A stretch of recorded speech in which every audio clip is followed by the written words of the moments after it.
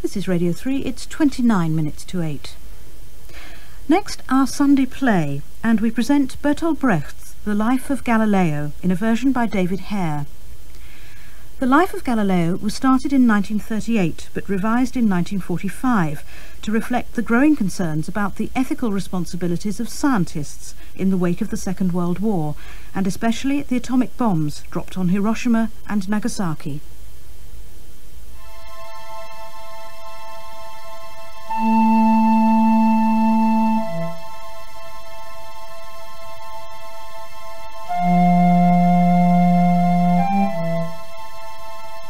Life of Galileo by Bertolt Brecht, in a new version by David Hare, with Richard Griffiths as Galileo.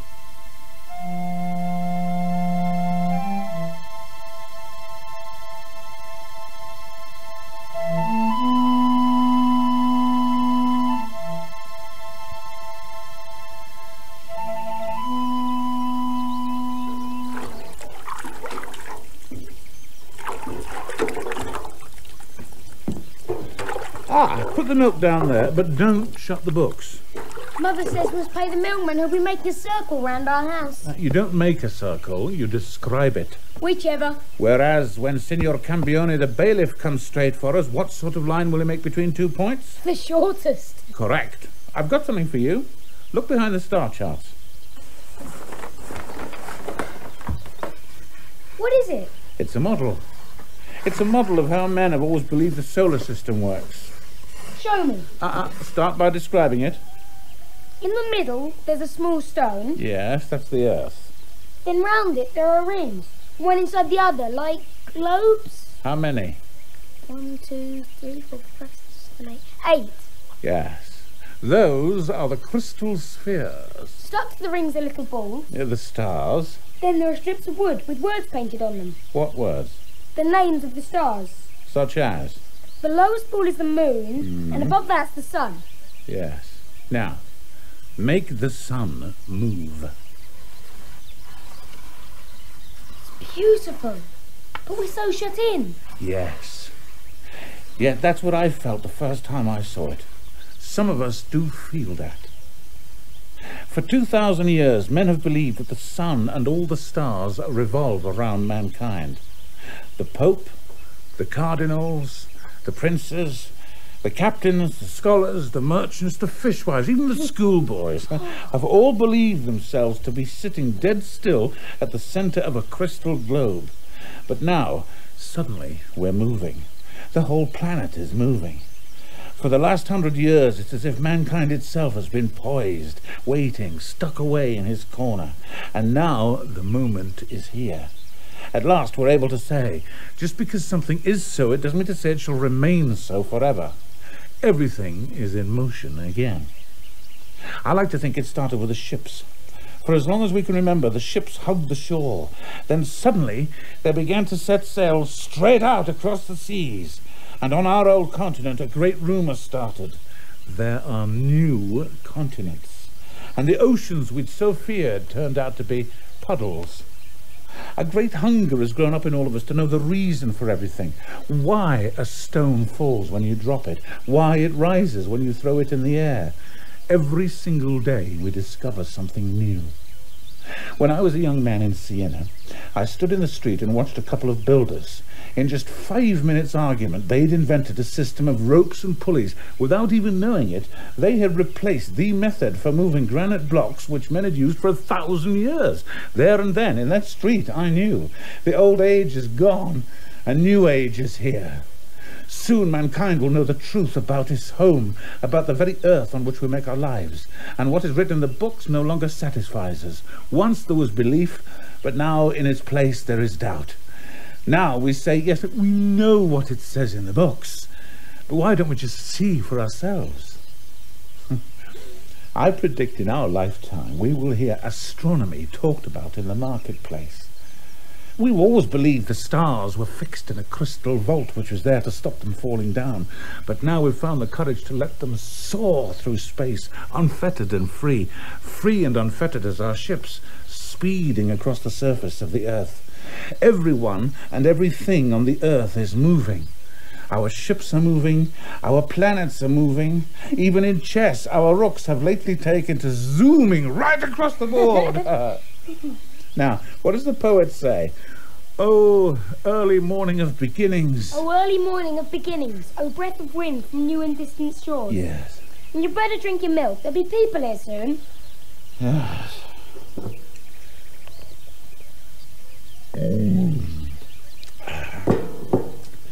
You understand what I told you yesterday? About Kippernickers. Yes. How can I understand it? I'm only 11 next October. But it's you that I'm working for. You are why I buy expensive books rather than pay the milkman, so that you and people like you may understand. But it doesn't make sense. I wake up, the sun is there. I go to sleep, and it's over there. I see it move. Don't tell me it doesn't. You see? What do you see? You don't see, you gawp. Gawping isn't seeing. Ugh, look, this bucket is the sun. Now, sit in this chair. Now then, which side is the sun? To your left or to your right? Left. Left. And how may it get to your right? Well, if you move it, of course. Uh, yeah, isn't there any other way? Hey, hey, hey, hey, hey. Now, which side is the sun? On your left or on your right? On the right. And did it move? Not really. So what did move? Well, I did. You're wrong, idiot, not you. The chair. But I went with it. But the chair is the earth and you're sitting on it. What on earth are you doing with my son, Signor Galileo? I'm teaching him to see, Signora. Oh, by carting him round the room. Oh, don't, Mother. You don't Oh, understand. no, of course not. You do, I suppose. Hmm. Here, another young gentleman who needs tuition, very well dressed, and with a letter of introduction. Yes, you'll soon have Andrea believing that two and two make five. He already muddles up everything you tell him. Yesterday, he was actually trying to prove the Earth goes round the sun. He says a man called Kippernickers has worked it out. It's true, isn't it? Kippernickers did work it out. Oh, as a result of our investigations, Signora Sarti, and after bitter dispute, your son and I have made discoveries we can no longer withhold from the world. A new age is born, a new age in which it's a joy to be alive. Then do me a favour, please, Signor, and take this student. I am hoping to pay the milkman in this new age. Well, at least let me drink it before I pay for it. Oh. So, you did believe what I told you yesterday, No, I just said it to upset her. But it oh. isn't true. isn't it? No, it can't be. Why not? I sat and worked it out. If the earth turns, as you say, like this, Yeah. then at night it'll be upside down. No, no, look. This apple is the earth. Oh no, no apples. You can prove anything with an apple. All right. It's all so easy once you start being clever like that. What does it mean? The apple is the earth. It means nothing. Well, perhaps you just don't want to learn. All right. Why am I not upside down at night? Oh, look. This is the earth. And this little splinter is you on it. Now, the earth rotates. And I'm upside down. No, no, no. Look, where's your head? There, down below. Why? Aren't your feet still on the ground? Then why don't I feel the earth turn? Because you're turning with it. You and everything around you is turning together. That's brilliant. That's going to make her really annoying. Good morning, signor. My God, this place is getting like a chicken shed. My name is Ludovico Marsili. Ah, ah. And you've um come from Holland, eh? Mm, where I heard much of you, Signor Galilei. Your family owns estates in the Campania. My mother wanted me to have a look round the world, see what's going on. Uh, when in Holland they told you I was what was going on. My mother wants me to understand science. Science is ten scudi a month. Very good, Signor. What are your interests? Horses. Ah, I have no real gift for learning. in that case, fifteen scudi. That's fine. It'll have to be first thing in the morning. That's your loss, Andrea. He's paying, you're not. All right, I'm off. Can I have the apple? Certainly not. Go on, of course you can. You'll have to bear with me. For the little I know, science and common sense don't mix. Well, for instance, at the moment in Amsterdam, they're selling a tube. Just a casing of green leather and two lenses. One curved this way, one curved that way. One um, uh, enlarges and one uh, d- diminishes. Now, any sensible person would think they'd cancel each other out. But you look through it, and everything's five times as big. Everything? Hmm, you can see anything. A church spire, a bird. Well, you yourself have looked through and seen church spires enlarged. Yes, senor. And the tube had two lenses. Mm-hmm. Um, it looks something like, uh, like this. Yes. Well, how old is this discovery? Oh, I've no idea. But it had only been on the market a few days when I left. Yeah. Uh, look, are you sure about physics? I mean, why not horse breeding instead? My mother wants me to. Science is all the rage nowadays, you know. Yes, but dead languages are so much easier. Or, or theology, even. Yeah, all right, well, come along Tuesday morning first thing, right? Thank you, senor. Yeah, don't look at me like that. I took him on, didn't Well, I? only because you saw me. The Chancellor of the University's outside. Oh, excellent. Bring him in. There's 500 scudi in it, and I shan't need any pupils at all. Ah, morning, Chancellor. Lend us half a scudo. Signora Sarti, could you uh, send Andrea down to the spectacle makers for these lenses? Here are the particulars. Very good, sir. I have called, Signor, to discuss your application for an increase in salary to a thousand scudi. Sadly, I cannot recommend it to the university. I cannot manage on 500 scudi. As I understand it, Signor, you give two lectures a week, each of only two hours' length.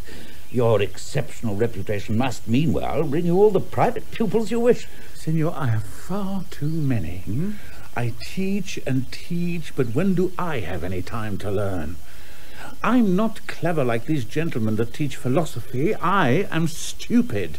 My problem is I know nothing at all, so I must fill in the gaps in my knowledge. And to do that, I need time. Mm. Signor, mine is a discipline still thirsting for knowledge. In answer to great questions, we still know nothing for sure. We need proof. But how can I find proof if all my time is being consumed by wealthy idiots who cannot grasp infinity or parallel lines? Please, you should not forget that while, as you keep telling us, the Republic does not pay as much as certain princes, it does, however, guarantee freedom of research. In Padua, we even admit Protestants to our lectures. We offer them degrees. Not only did we not surrender Signor Cremonini to the Inquisition when it was proved to us, oh. proved, Signor Galilei, that he had made blasphemous remarks, but we even voted him a higher salary. Throughout Europe, Venice is known as the republic where the Inquisition has no say. Your people handed Giordano Bruno over to the authorities in Rome because he spread the teachings of Copernicus. Not because he spread the teachings of Copernicus, which are, by the way, untrue. Oh. Untrue, Signor. But because he was not a Venetian, had no tenure here. He did not belong here.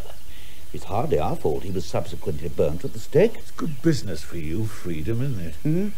Elsewhere, the Inquisition rules and burns. So here, you get good teachers cheap. You protect us, yes, and in return, you underpay us. I am free, yes, but what use is my freedom without free time? You know the answer, Signor. Do I? Knowledge is a commodity. It must profit the person who buys it. Oh, I see. Free market, free research. Free market in research, is that it?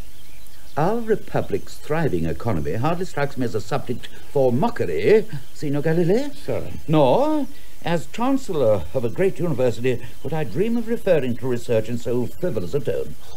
Now look to the world and how things are outside these walls. All through Italy, learning groans under the whips of bondage. The country is full of places in which nobody cares how a stone falls. All that interests them is what Aristotle wrote about how a stone falls. Yeah.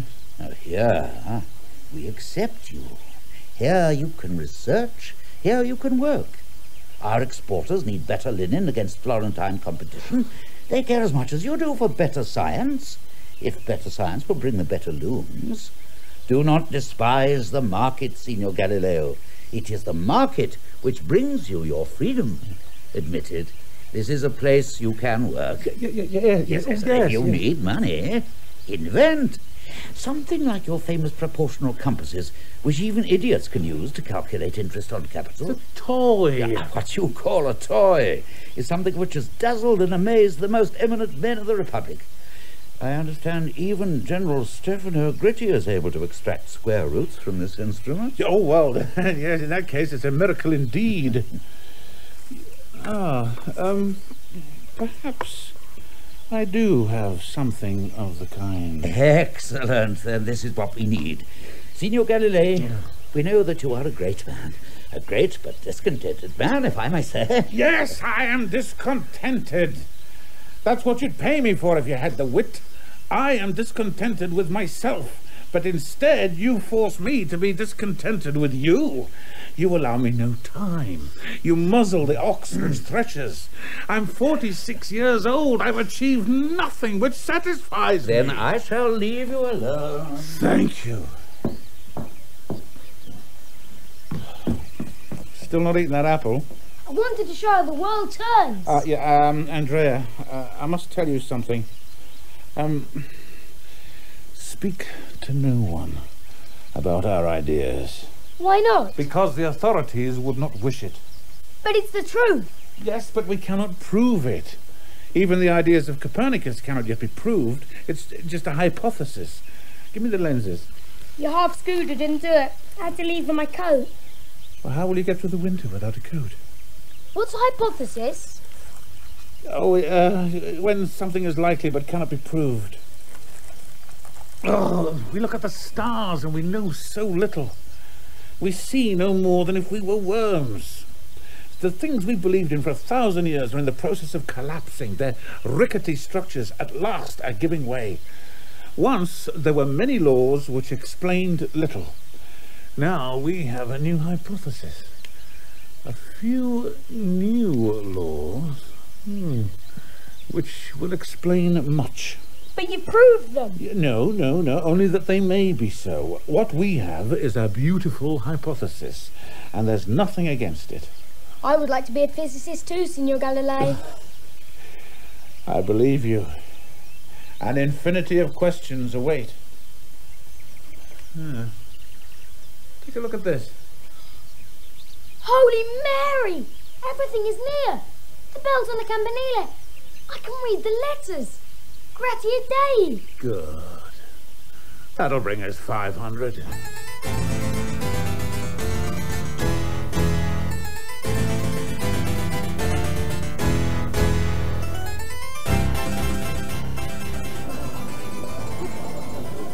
Your Excellency, noble Signoria, as a humble teacher of mathematics at your University of Padua and director of your great arsenal here in Venice, I have always seen my duty as not only to teach, but also to advance the Republic of Venice by means of practical invention. Ah, with joy, with deference today, I am able to present you with a completely new instrument, my distance glass, my telescope, produced in your world-famous great arsenal according to the highest scientific and Christian principles, the product of 17 years of patient research.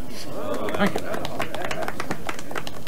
You'll be able to pay the milkman, my friend. Oh, please. Excellency, noble Signoria, once again a Venetian hand writes in the book of history. A world-famous scholar here presents to you, and you alone, a highly saleable cylinder to put on the market in any way you please. And what more has it occurred to you? A weapon with which in wartime we may see our enemy's ships a full two hours before he sees ours.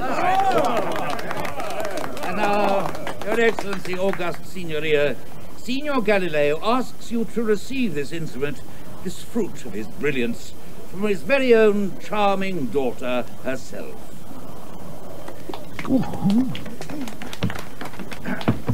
Your Excellency. I'm not sure I'm going to be able to get through this charade. Last night, I pointed the tube at the moon. What did you see? It has no light of its own. What? Astronomy has stood still for a thousand years. It had no telescope. Signor Galileo! They're speaking to you. Want to see everything! And women cannot bathe on the rooms Do you know what the Milky. Way consists of? No, I do. Ludovico wants to congratulate you, Father. Uh, I, I congratulate you, sir. Well, I have improved it. Oh, I can see that. You've made the cover red. In Holland, it was green. Signor Galilei, you have done as we asked of you. I think we may say all 500 scudi are safe and secure. now do come and meet the senator. Oh, yes. Did I do all right? Oh, yeah, yeah, you, you seem fine to me. Then what's wrong? I'm not sure. Perhaps a green cover would have been just as good. I think they are all pleased with Father. And I think I'm learning a little about science.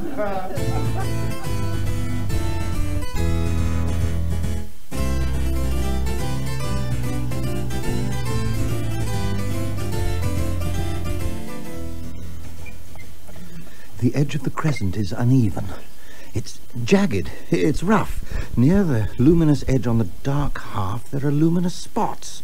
They appear one after the other. From the spots, the light streams out wider, wider, until it merges with the great luminous part. How do you explain them? I can't. Well, you must. They're mountains. Well, how can there be mountains on a star? They are giant mountains. Their summits are gleaming in the rising sun while the slopes below them are dark. What you are seeing is the light spreading down from the mountaintops into the valleys below. This destroys all astronomy for 2,000 years. What you are seeing has been seen by no other eyes but mine. You are the second. The, the moon cannot be an earth with mountains and valleys, any more than the earth can be a star. The moon is an earth. The earth is a star. An ordinary heavenly body, just one among thousands. Take another look. Is the dark side of the moon completely dark to you? Oh, no. I can see a sort of feeble grey light. And where does it come from? Well, It's from the earth. no. Yeah. I mean, no. I mean, how is that possible? There, there is no light on the earth. The earth shines just as the moon shines. It shines by the light from the sun. What the moon is to us, we are to the moon. Sometimes to the moon we are full, sometimes a crescent, and sometimes we're not there at all. The moon and the earth are the same. But not ten years ago, a man was burnt in Rome. His name was Giordano Bruno, and he said just that. He said it, yes. And now we can see it. Keep your eye there. What you see means there is no difference between heaven and earth. Today is the 10th of January, 1610. In Mankind's diary, he writes, Heaven abolished. Oh, that is appalling. Perhaps, but let me tell you, I know something more. I, Forgive me, Signor. I must speak to you in private. Look, uh, I have no secrets from my friend Sagredo here. It is something incredible. My friend is quite well used to the incredible. He spends long periods with me. That wonder, that marvelous thing you invented, it turns out is worthless. What, what do you mean? What you call the fruit of 17 years' research can be bought on any street corner in Italy. Even as we speak, a Dutch cargo ship is unloading 500. Really?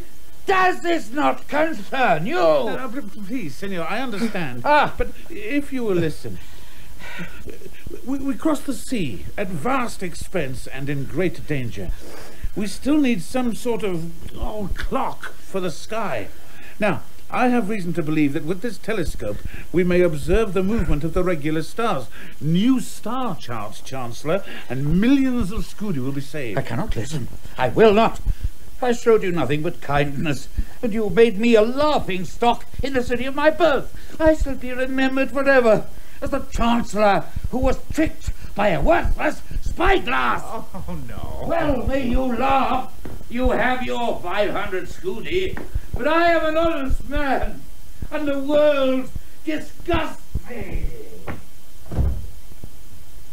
I can't help liking that man when he's angry. Did you hear that? A world in which there are no bargains disgusts him. Had you heard about the Dutch?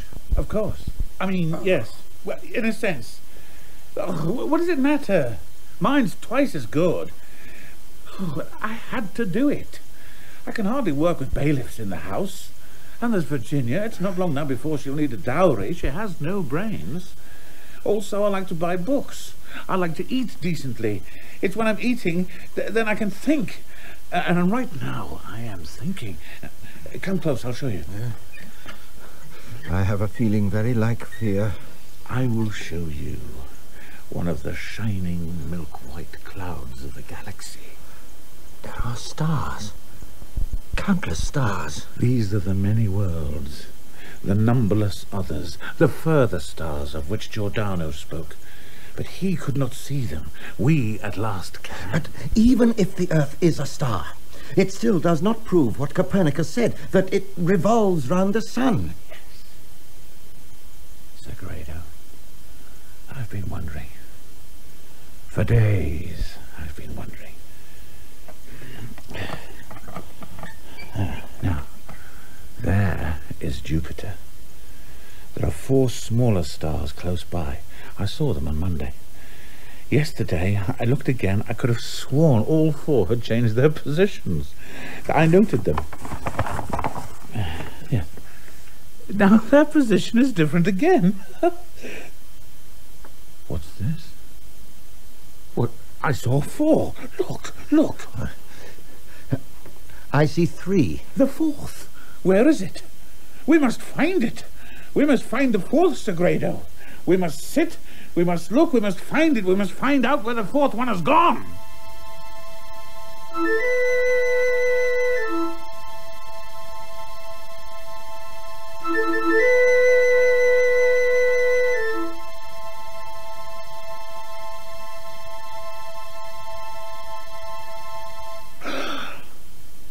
Proof. We have proof. The fourth has gone round behind Jupiter, and that's why it cannot be seen. There, a star around which another revolves. And the crystal sphere to which Jupiter is fixed? Yes. How is it possible? How can Jupiter be fixed to anything when other things will move around it? It cannot be so. There is no framework in heaven. Oh. Jupiter is simply one more sun. Look, calm down. You go too fast. Too fast? Oh, come on. Don't you see? They were right. Who, the Copernicans? Yes, they were right, and the whole world was against them. This is something Andrea must hear. Senora Sarti! Will you stop screaming like a lunatic? Will you stop standing there like a dead cod? We have found the truth! Well, don't you see? That's what I'm frightened of. What do you mean? Do you really not see? Have you really taken leave of your senses? You go round shouting for everyone to hear the Earth is a star. It is no longer the center of the universe. Well, soon it'll be obvious to everyone. But where then is God? Eh? God! Where is God? Well, not there. Any more than we'd look for him down here if we happened to have been born up there. Then where is God? Oh, I'm not a theologian. I'm a mathematician. No, first and foremost, you're a man. And I ask you, where is God in your universe? In us or nowhere. As the heretic Giordano said. Oh, you, yes, yes, if you like. That's why he was burnt. No. Not ten years ago. He was burned because he had no proof. Oh. Signora Sarti! Galileo, I have always thought you a clever man. For 17 years, you have taught the Ptolemaic system which the Church supports and the Scriptures confirm. You did not believe in it, but you taught it. Because I could prove nothing else. And you think proof makes any difference at all? Yes. Yes, since you ask. I also happen to believe in mankind and in his special quality. I believe he has reason, he has common sense. Then I tell you something. I do not believe in it. My 40 years on this earth have taught me one thing. Reason counts for nothing at all. Show men the red tail of a comet, stir up their fears, and they'll jump over cliffs in a bloody stampede. But tell them one fact, supported by seven clear reasons, and they will simply laugh in your face. How can you love science if that's what you believe? Reason is the thing that keeps us alive. Men don't have reason. They have low cunning. Please never think the two are the same. I'm not speaking of that. I'm not speaking of cunning. I know they call a donkey a horse when they want to sell, and a horse a donkey when they want to buy. That is man's cunning. But I put my trust in something quite else. The woman who gives a horse more hay for a journey. The sailor who lays up provisions against the storm. The child who reaches for his cap because he fears it may rain. My trust is in them, for they employ reason in their everyday lives. No one can see me and watch as I drop a stone and say it does not fall. Ultimately, no man is capable of that. The truth finally cannot be resisted, or not for long. It has its own power. Its power cannot be broken. Thanking is one of the great pleasures of being alive. You tell me people cannot grasp the truth, Sagredo. I tell you they thirst for it. Do You want something, Signor? Yes, I want Andrea. Andrea's in bed and asleep. Well, can't you wake him? Well, well, what do you want him for? Oh, to look through your tube again. Yes, to look through the tube. And for that you want him woken up in the middle of the night. Have you taken leave of your senses? My child needs his sleep. Good morning, Father. Why are you up so early? Signora Sarti and I are going to early mass. Ludovico is coming too. What was the night like, Father? Um, uh, clear? Can I look through the telescope? Why? It's not a toy. No, as you say. Besides, the whole thing's a terrible letdown. That's what everyone says. They sell it in the street for three scudi. And have you seen anything new in the sky? Uh, nothing that would interest you. A few stars, that's all. I'm thinking of approaching the Medicis. Asking them to lend their name to my stars. Active sponsorship. Make my stars famous. Why not? I've already decided to move us to Florence. I've written to the Grand Duke asking if I might be court mathematician. The court? Galileo! Muffin, it's true. It's it's true. I can hardly go on as I am here. I am in grave need of luxury. I need leisure to work. This stuff here, it is just a start. I have to have time if I am to prove beyond all contradiction that the planets revolve around the sun. Now, if I go to Florence, then I will have the time to find the proof. Proof that will satisfy everyone from Signora Sarti right up to the Pope, if I can get the court to take me. But they have to take you with these new stars of yours. Go to your mass! Don't go to Florence. Why not? It's a monk's town. It's in the church's pocket. There are great scholars at the court of Florence. Doormats, nothing more. Even monks are human, Sagredo. They will succumb to the temptations of truth. Ah, Copernicus gave them only scribblings, but I will give them the evidence of their own eyes. It's not enough for the truth to exist. Truth must also go on to the attack. Now I shall take these monks and force them to look through the telescope. I shall grab them by the neck and drag them down. Galileo, the road you are taking is fearsome. It's a night of disaster when a man sees the truth. Of whom do we say he's going into it with his eyes open? Of the man who knows he is destroying himself. Do you think the Pope will listen when you say he is in error? Do you really think his diary will have the same entry as yours, heaven abolished, January the 10th? If you teach us to be so skeptical in science, why on earth are you so credulous in life? You don't believe in Aristotle, yet you do believe in the Grand Duke of Florence. When I watched you just now at the telescope, when you stood and you said, I believe in reason, these are reasonable men, then I smelt burning flesh. Galileo, I saw you on your own pyre. I love science, but I love my friend more. I beg you, do not go to Florence. If they want me, I shall go.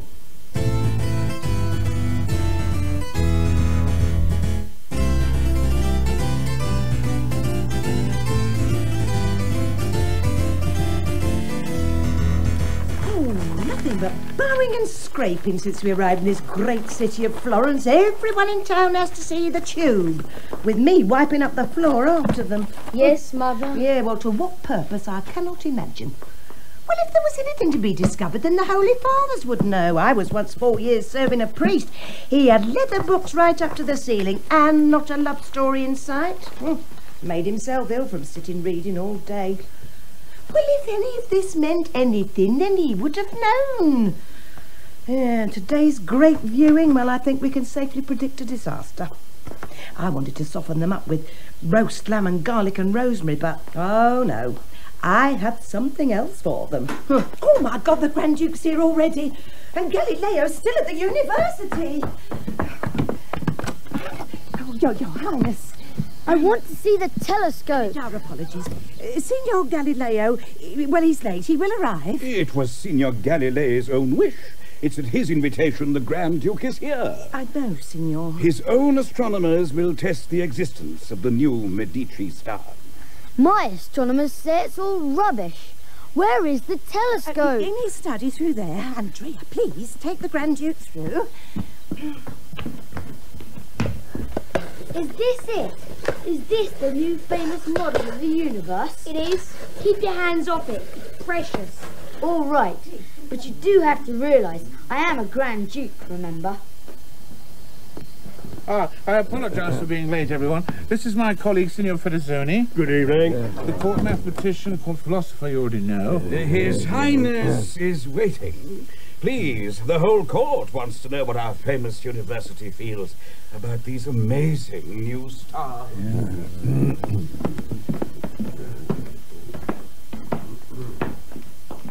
Signor Galilei, Your Highness. please do begin. Uh, Your Highness, it will be my privilege to demonstrate my new discoveries to scholars of your university and in your presence as well.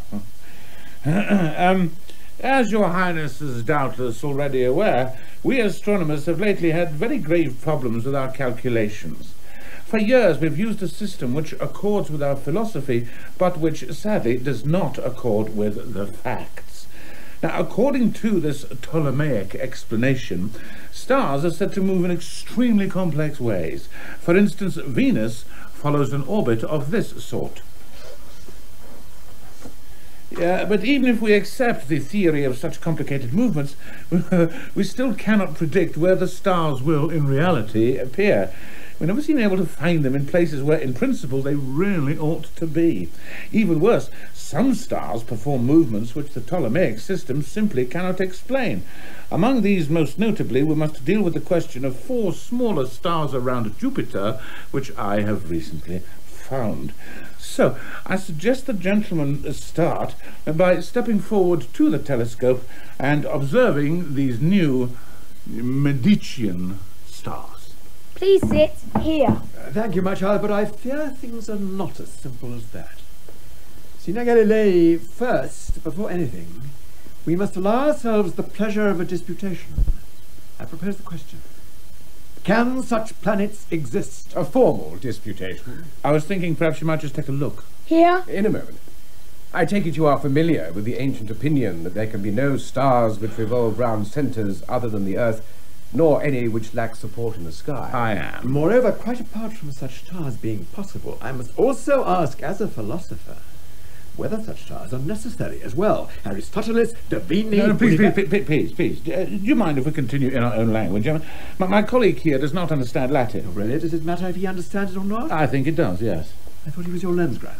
Signor Federzoni is a lens grinder and a scholar. Thank you, child.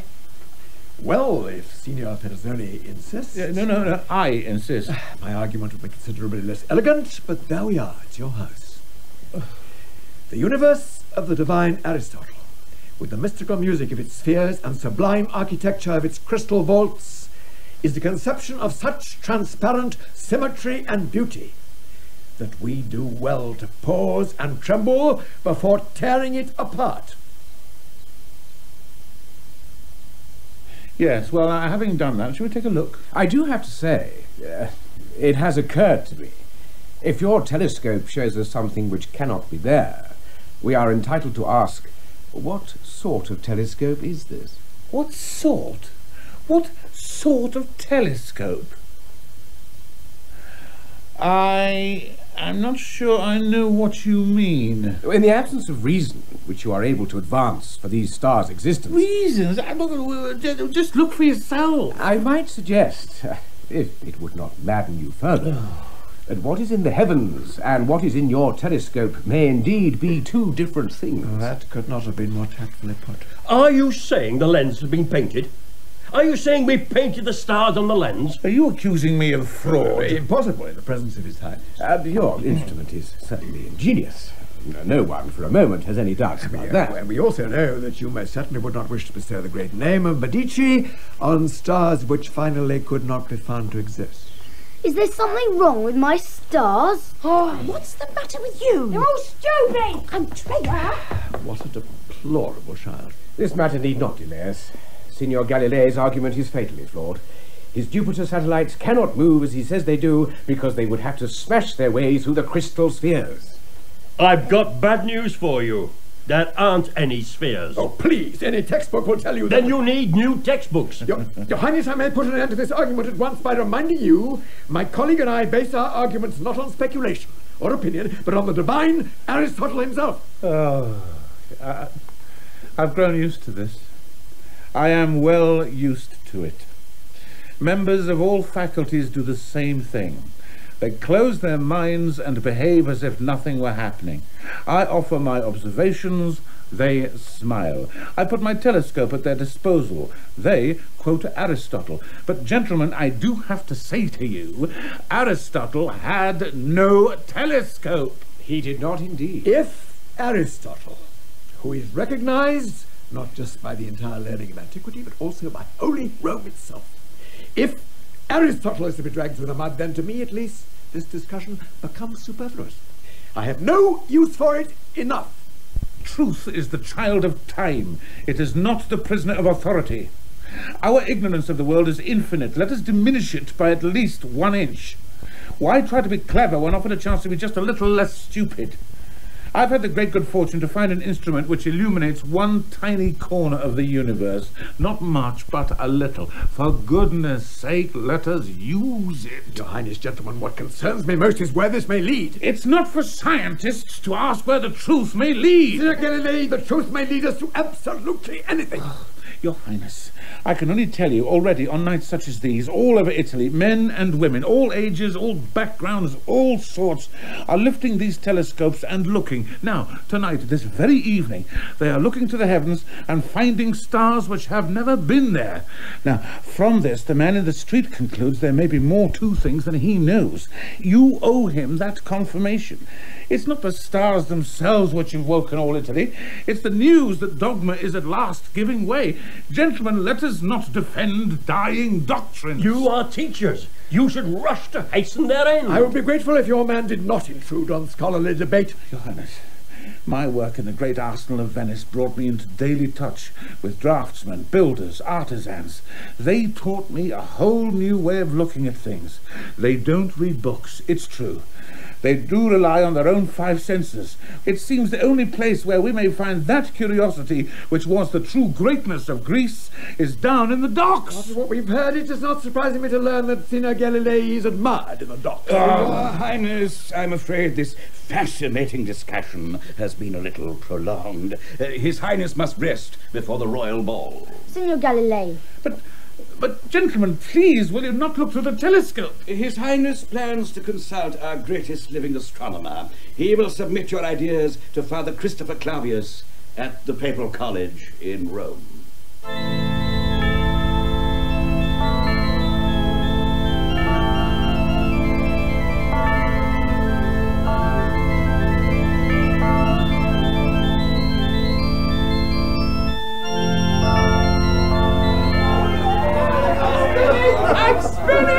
The earth is spinning! Hold on to us! We're moving! We're spinning! The earth is falling! what will people not now believe? They won't believe in the devil. Oh, no. Well, the devil's silly, of course, but the earth is a marble rolling in the gutter. Oh, yes, but no trouble at all. Is that him? Is that Galileo? It is. Good evening. I'm glad my theories amuse you churchmen so much. I don't understand. What's happening? I cannot understand it. Why, Christopher Clavius, the church's greatest astronomer, why, he's even entertaining this stuff. He's still in there? Hmm, he's sitting there peering through the devil's own tube. What does it say in the Bible? Sun, stand Stand thou still upon Gibeon, and thou moon in the valley of Ajalon. It's written down. How can the sun stand still if it does not move at all, as these heretics say? Are the scriptures lying? No. There are things in astronomy, yes, which present us with difficulty. But does man have to understand everything? No. Why can't we just leave some things alone? I tell you, one day, these very same people will come and tell us man is not man. Yeah. You wait.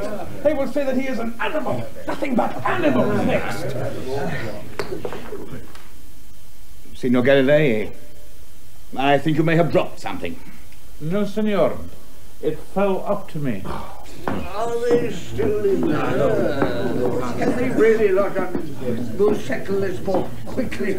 Clavius ought to understand his astronomy. I'm told this Galileo removes mankind from the centre of the universe and dumps him down on the edge. Well, this alone makes him an enemy of humanity, and we must treat him as such. Mankind is, is the crown of creation. How is it conceivable that God could take something so miraculously the fruit of such extraordinary genius and put him on a minor transient star? Would he send his son to such a place?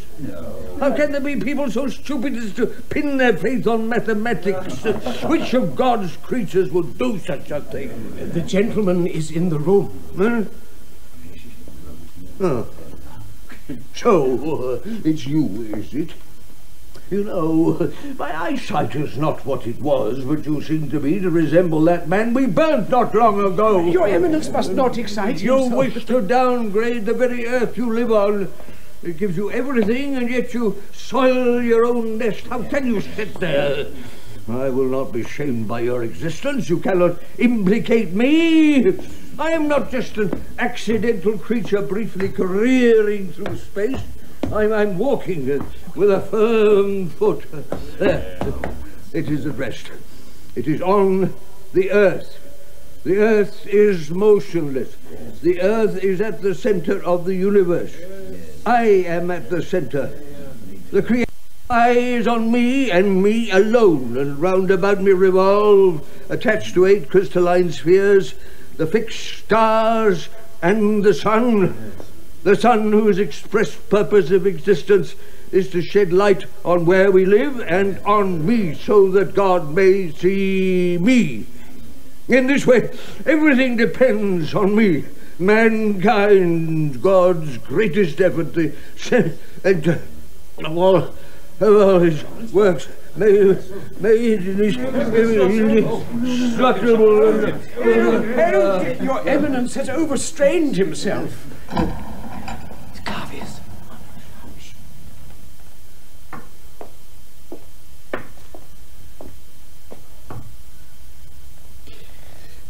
He is right. No.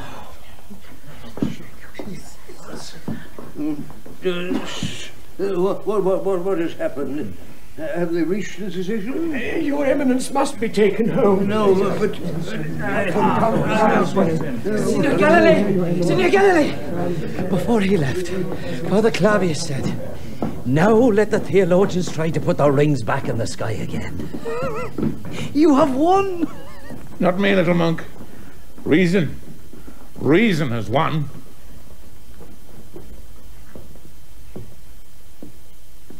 Signor Galileo. Good evening, Father. Who was that? Who did I just speak to? His Eminence, the Cardinal Inquisitor.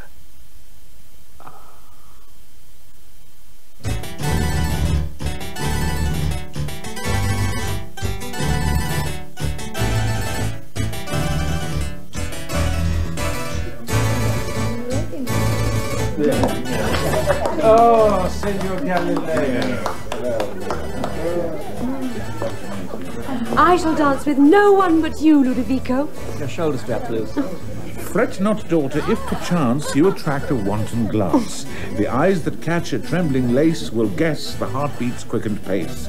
Lovely women still may be careless with felicity. Feel my heart. It's beating. I want to look beautiful. Well, it's essential, people will start asking whether the Earth really does revolve. But it doesn't. Signor, Rome talks of no one but you. But after tonight, it will be your daughter they speak of. Well, they say it's easy to look beautiful in the Roman spring. Even I must look like a slightly overweight Adonis. ah, um, I was to wait here for the cardinal. Go on, you two. Enjoy yourself. Thank you, Father.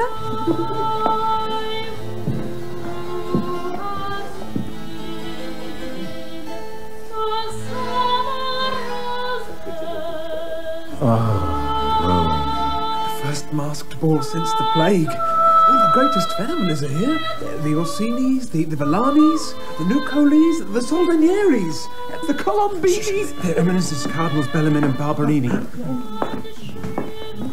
The sun also riseth, and the sun goeth down, and hasteneth to his place where he arose. So says Ecclesiastes. And what says Galileo? Your Eminence, when I was this high, I stood on a ship and cried out, The shore is moving away. Today I know it is the ship that moves and the shore which stands still. Clever, clever.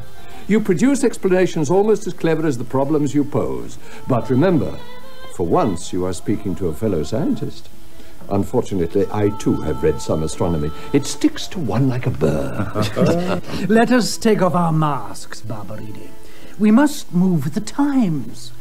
If we can put Galileo's theories to practical use, if they help navigation, then we must not stand in their way. But what we cannot allow are teachings which contradict the Bible. the Bible. He that withholdeth corn, the people shall curse him. Proverbs. Ah, ah. A prudent man concealeth knowledge. Proverbs.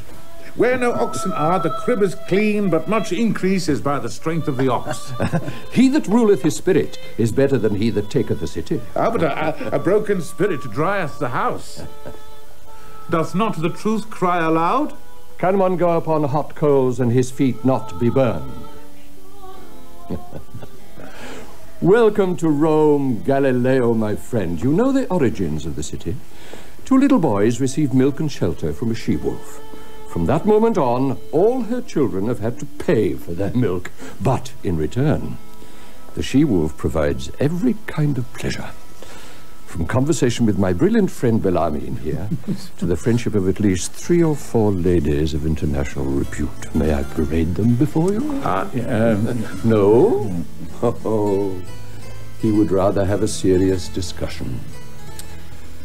Oh, very well. Are you sure, Signor, that you astronomers are not simply set on making astronomy simpler for yourself? Huh. I believe in reason. And I hold reason to be inadequate. Ah, silence. Now he is too polite to say that he holds me to be inadequate. I believe in Uh, reason. th- there is no need to take this down, scribes. This is a scientific conversation between friends. Reason, my friend, does not get us very far. All around we see nothing but suffering. The lives of our peasants are full of brutality and fear. Their lives are crueler than we can conceive. So we lend their sufferings dignity and meaning by ascribing intentions to a higher being. Our suffering, at least, becomes part of a plan. Now, this may not comfort us entirely. But now you arrive and tell this higher being that he does not know how the stars move. A matter on which you claim to know more than him. Is that wise? I am a true son of the church. No, this man is incorrigible. He seeks to prove God's incompetence.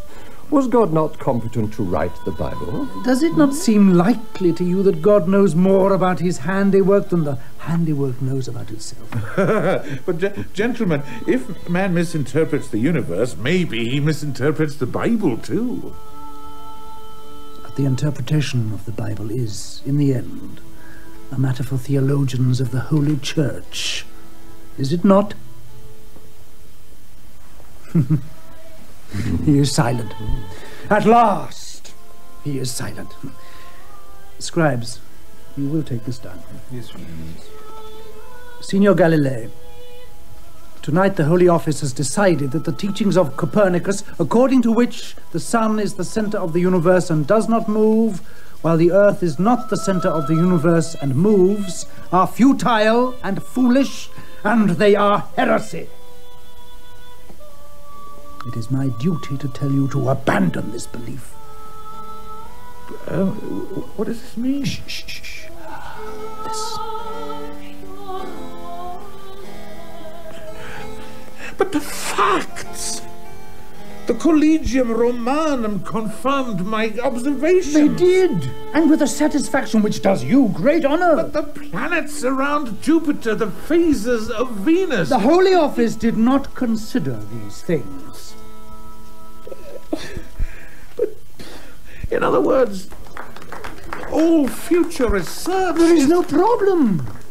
The Church is saying we can never know, but if we wish, we are free to try and find out. you are free to expound your teaching, but as mathematical hypothesis, not as a truth. Science, Signor Galileo, is the legitimate and well-loved daughter of the Church. And no one here seriously believes you wish to undermine the authority of the Church. It's authority's own abuses that undermine it. Do they? Don't throw the child away with the water. It's in nobody's interest for you to do that. We will not do that. We need you more than you need us. I am burning to present you to the President of the Holy Office. he admires you so much. You would have done well to adopt a disguise tonight, Signor Galilei. Perhaps the disguise of a humble and orthodox scholar. disguise has its uses. Behind my mask, you may perhaps hear me say, if there were no God, we would have to invent him. Good. Masks on again. If only you had one. Did you get that last sentence? I did. Have you got the bit where he says he believes in reason? Did the conversation take place? Your Eminence. Uh, Signor Galileo arrived with his daughter. Today she was Yes, engaged. yes, yes, the transcript. Just wait, Ludovico. Well, my daughter, oh, Your Eminence. a wonderful evening. hmm? Permit me to congratulate you on your engagement. The groom comes from a noble family. Will you remain with us in Rome? Not immediately, Your Eminence. There is so much to do before a wedding. Uh, So you will go back to Florence with your father, hmm? Good. I'm pleased. Your father needs you. Mathematics is a cold companion, I think. He needs flesh and blood beside him. A great man can lose himself all too easily in the vast world of the stars. You are most kind, Your Eminence. For myself, I understand nothing of these things. No. No one eats fish in a fisherman's house. hmm? Your father will be amused when he hears you at last learnt some astronomy from the Cardinal Inquisitor. You learnt some astronomy from me. I read here that our innovators, of whom your father is the acknowledged leader, now believe that the importance of the Earth has been greatly exaggerated. We have always believed the universe was 20,000 times the Earth's size. Roomy enough, you would think. But no, no, not for our friends. Now they are saying it is almost infinite. the distance between us and the sun is as nothing compared to the distances beyond. Now, who can say our scientists do not live on a grand scale? now, true, some gentlemen of the Holy Office are rather disturbed by this new view of the universe. The world, as described in the scriptures, has suddenly become little more than a bauble one might hang round the neck of certain young ladies. in the vastness of this new universe, a priest or even a cardinal may easily get lost. The Almighty might even overlook the Pope himself. yes, it is amusing. And it is also consoling that you will remain so close to your father, whom we all esteem so much. Do I know your confessor? Father Christophorus of St. Ursula. Yes. I am glad you will be with your father. He will need you. Or perhaps you cannot imagine it, but I must tell you, the time will come. He will need you. Oh, but I'm keeping you. I'll make your fiancé jealous. Maybe your father, too, by telling him things about the stars which he will think horribly out of date. Now, dance, go, go dance. Dance the whole evening. Uh, but remember me also to Father Christophorus. Your Eminence.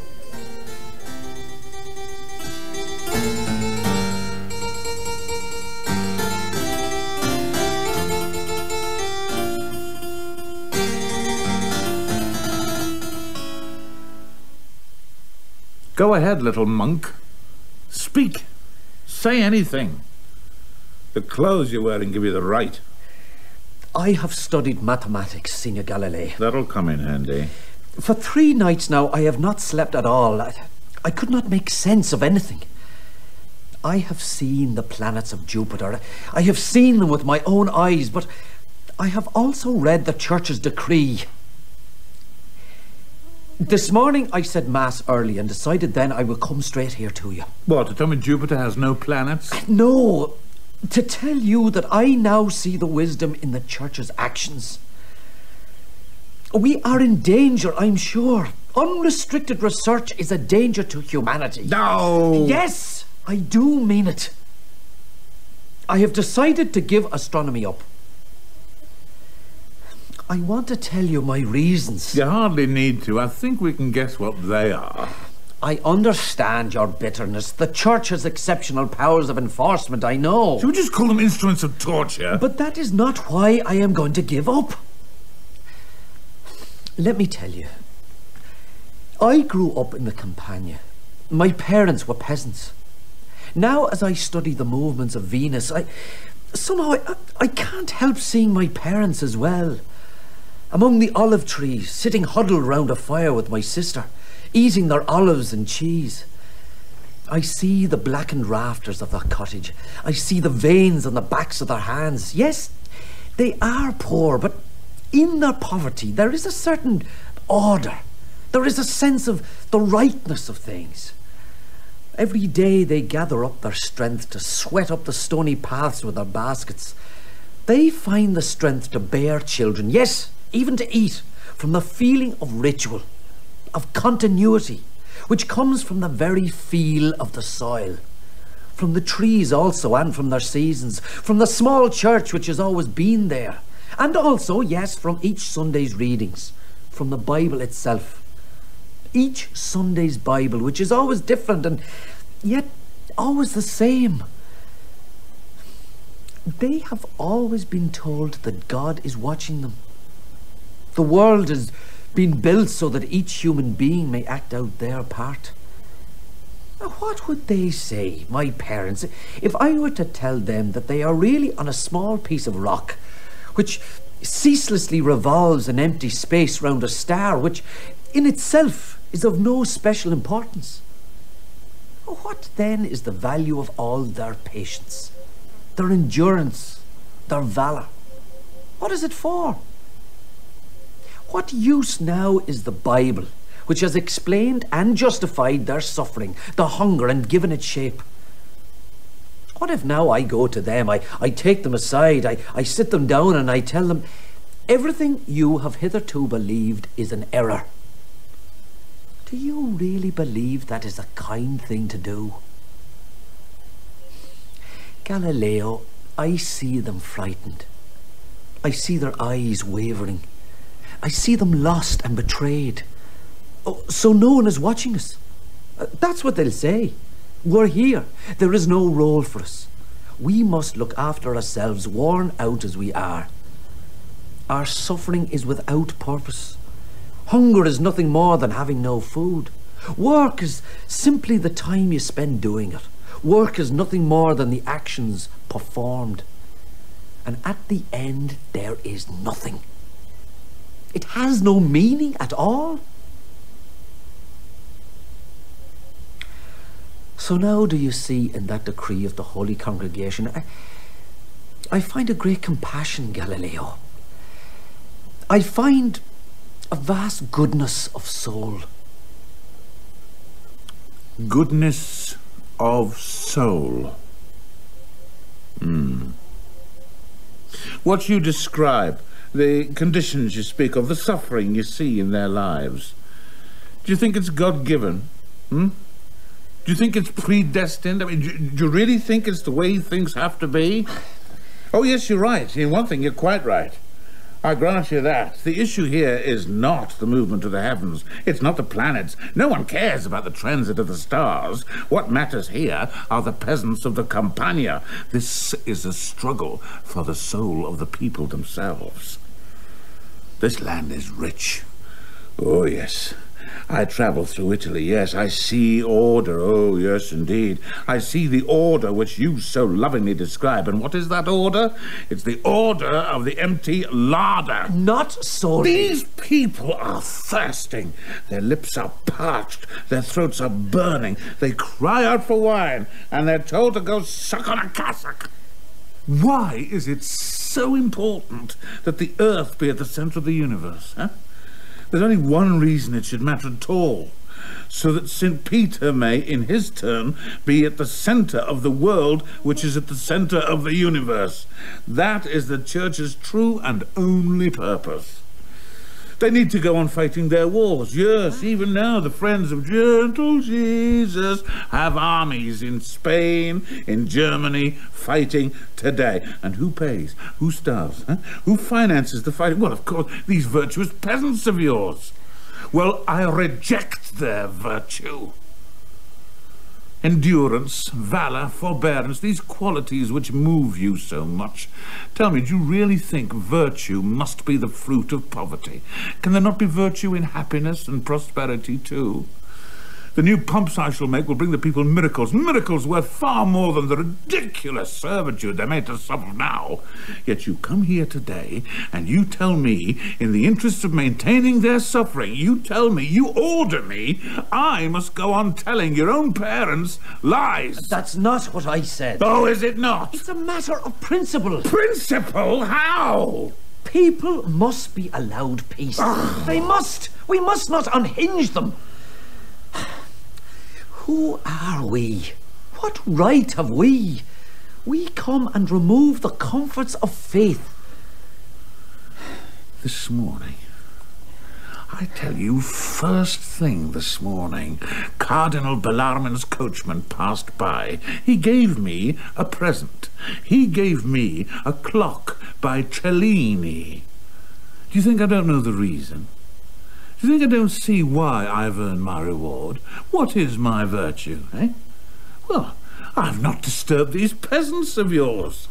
Oh, yes, a bribe. They offer me wine which is wrung from the sweat of your parents' brows. They offer me an easy life, freedom from persecution. But if they were thereby to buy my silence, if I were to give the peasants this peace you describe, I do not deceive myself it would be from any kind of principle. Signor Galilei, I am a priest. You are also a physicist. And you can see that Venus has phases. We see it. It is plainly the truth. He who does not know the truth is an idiot. There's no virtue in ignorance. None.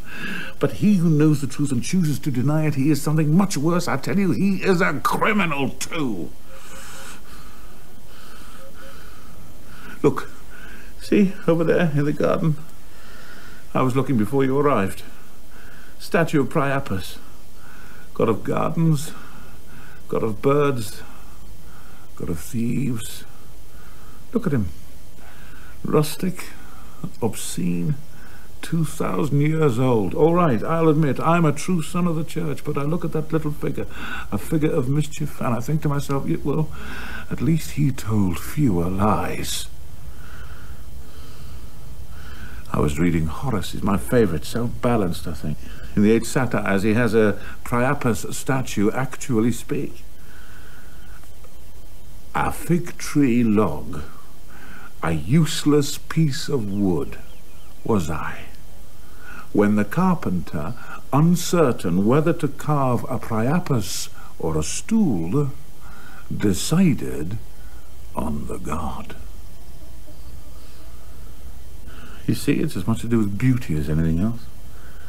But can you imagine if someone had gone to Horace and said, "Sorry, that word must be changed. Can't be stool. It must be oh, I don't know. It must be it must be anything. I, it must be table instead." Can you imagine?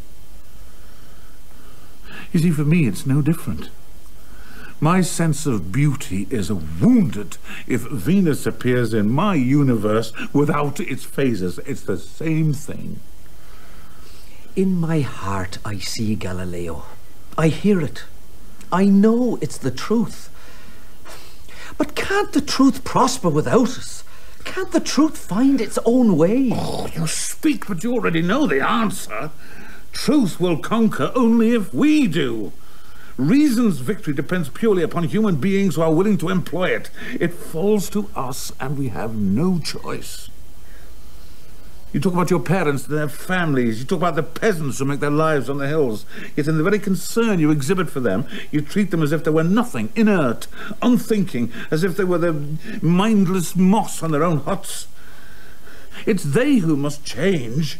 We will give them inventions, but these inventions will bring them no benefit at all unless the change is in them. Oh, God help us all. I see the divine patience of the people, but where is their anger? They are tired. Are you a physicist, my boy? Here. Here you'll find the reasons why the ocean moves, why it ebbs, why it flows. Ah, but of course you mustn't read it. Oh, you've already started. Well, perhaps you are a physicist after all. An apple from the tree of knowledge and he's wolfing it down. He knows he's damned forever, but that won't stop him finishing his meal. I sometimes feel I'd be willing to live in a dungeon 200 feet down in absolute darkness if it meant I would then know what light really is. Uh, And then I'd have to tell someone. As a lover, like a drunkard, like a traitor. I know it's a sin. I know it leads to disaster. But how long can I shout in the void? Uh, this bit, I, I, I don't get this bit. Here, let me help.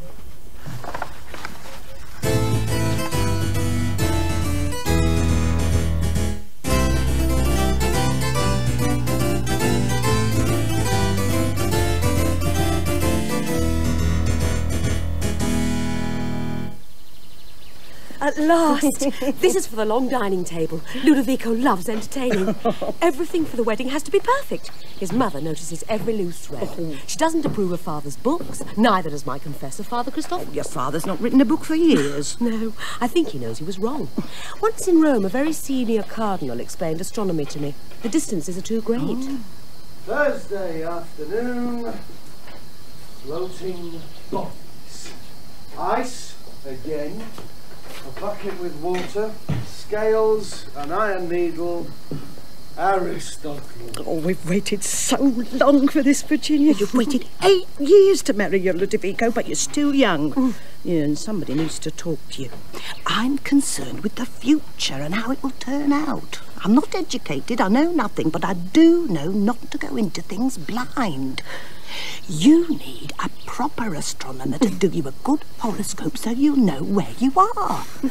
what are you laughing at? I've already been. Oh, and so? For the first three months, I need to be especially careful because the sun will be in Capricorn. Ooh. But then I'll get a favourable ascendant mm and the mm-hmm. clouds will part. That's when I can go on a long journey because I'm a Capricorn. Oh, and Ludovico? He's a Leo.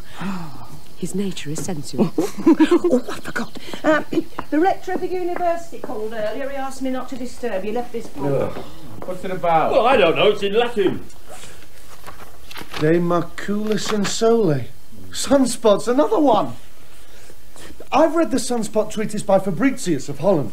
He believes they're swarms of stars passing between the Earth and the Sun. I'm not sure, Andrea. What do you think, Signor Galileo? In Paris and Prague, they are convinced they're vapours from the Sun. Federzoni doubts that. No, don't drag me into it. Hmm, I said, hmm, that's all. I'm a lens grinder. I grind lenses. and when you look through them, what you see are not spots. They're called maculae, didn't you know? Well, how could I have an opinion about anything? The book's are in Latin, so I know nothing at all. There's happiness in doubt. I wonder why. Every day now for two weeks. Whenever the sun shines, I've climbed into the attic under the roof. A thin ray of light comes through a crack in the shingles. On a sheet of paper, you get an inverted image of the sun. I've seen a spot as big as a fly and smudged like a cloud. It was moving. Now, why aren't we looking into these spots? Because we're working on floating bodies. Our cupboards are stuffed with letters from all over Europe asking to know what you think. Well, your reputation is so great, you cannot stay silent. Rome allows my reputation to grow because I stay silent. You cannot afford to be silent anymore. I cannot afford to be barbecued like a ham. Do you think the sunspots are part of that other business? All right then, let's stick to the ice. It can't hurt you. Correct. Our thesis, Andrea. On the question of floating. It is our belief that it is not the shape of the body which matters, but whether it is lighter or heavier than water. Mm. And let us hear what Aristotle says. Uh, discus latus Oh, patica. no, no, translate, Uh, translate. A broad and flat disc of ice is able to float on the water, whereas an iron needle sinks. And what is his view on why ice doesn't sink? Uh, because of its shape. It is broad and flat and therefore cannot divide the water. Good. Now, I am pressing the ice down with my hands. I remove the pressure, and what happens? It rises to the surface again. Right. So apparently it can divide the water when it rises. Uh, but then why does it float in the first place? Ah, it's heavier than water because it's condensed. But what if it were thin? It must be lighter than water, otherwise it wouldn't float. Aha. Yeah, just as an iron needle won't float. Everything that's lighter than water floats, everything that's heavier sinks. Andrea, you must learn to think more carefully. Hmm? Now, give me a needle and some paper. Thank you. Now, is iron heavier than water? Yes. Right. I lay the needle on a sheet of paper and gently slide it onto the surface of the water. And what's happening? The needle is floating. oh, that sacred Aristotle. They never put him to the test. well, well, one of the principal reasons for failure in science is imagining we've had a success. Our aim is not to open the door to wisdom, but rather to set a limit on our own stupidity. Now, write up your notes. Oh, dear. What's wrong? Every time they laugh, it frightens me. I ask myself, what are they laughing at? Father says theologians have their bell ringing and the physicists have their laughter. Well, I'm glad he no longer uses that telescope. Now all he does is put ice in water. Oh. There's no harm in that. Well, I'm not so sure. Virginia! Oh, Ludovico! Why didn't you write? I had no idea you were coming. I was in the region visiting our vineyards. I couldn't resist coming by. Who's this? Ludovico! Can't you see him? Oh, yes, Ludovico. How are the horses? Oh, they're splendid, thank you, signor. Signora Sarti, please, there's celebration. Fetch the Sicilian wine, our old stuff, the best. Yes, Signor. You're looking pale, Virginia. Life in the country will suit you. My mother's expecting you in September. Wait, let me show you my wedding dress. Why don't you sit down? I hear you have 1,000 students at your lectures. What are you working at now? Oh, the usual, you know. Did you come through Rome? Yes. Oh, before I forget, my mother wanted to say she admired the tact you have shown. I mean, towards the Dutch and their recent sunspot orgies. Tell her, please, that's very kind. Rome is already aflame with gossip. Father Clavius has said that the sunspot research will mean that all that Earth round the sun nonsense will start up again. It won't. And what other gossip? You know, of course, the Holy Father is dying. What? Who do they think will succeed? The favourite is Barberini. Barberini? Signor Galileo knows Barberini. Barberini is a mathematician. A scientist on the papal throne. Well, maybe things are moving. Even the church now needs men like Barberini, men who know a little maths. Things are moving at last. We may yet see the day for us only when we won't have to act like criminals when we assert that two and two are four. I like this wine, Ludovico. what do you think of it? Oh, um, it's good. I know the vineyard it comes from. The hillside is stony and steep. The grapes are almost blue. Ooh, I love this wine. Yes, indeed. Mm. Oh, it's almost sweet, but not quite. Andrea, clear all that junk away. The ice, the bucket, all that stuff. Oh, I do so love the pleasures of the flesh, don't you? I've no patience for those who call them weaknesses. Pleasures, like anything else, it must be achieved. Oh, what have you in mind? Oh, to start all that earth round the sun nonsense again. Perhaps we'll discover the sun goes round too. How would that suit you, Marsili? Why the excitement? Oh, you're not going to start that devil's work up again. Now I understand why your mother sent you here. Barberini ascends to the papal throne. Knowledge will at last be a passion. Research will be a delight. Clavius is right. Those sunspots do interest me. Do you like my wine, Ludovico? I've already said so. Now, do you really like it? Yes. I like your wine. So, please don't ask when you're already taking from me my wine and my daughter to take my work from me as well. What's astronomy got to do with Virginia? The movements of Venus will not affect the shape of her backside. Oh, don't be so crude. I am going to fetch Virginia. No. In families like mine, we do not marry solely for pleasure. Did they tell you not to marry my daughter? Have I been on probation these past eight years? The woman who marries me will have to sit beside me. She will take her place in our pew in the church. And what? You think if she's not known to be godly, the peasants will stop paying their rents? Since you say it, yes.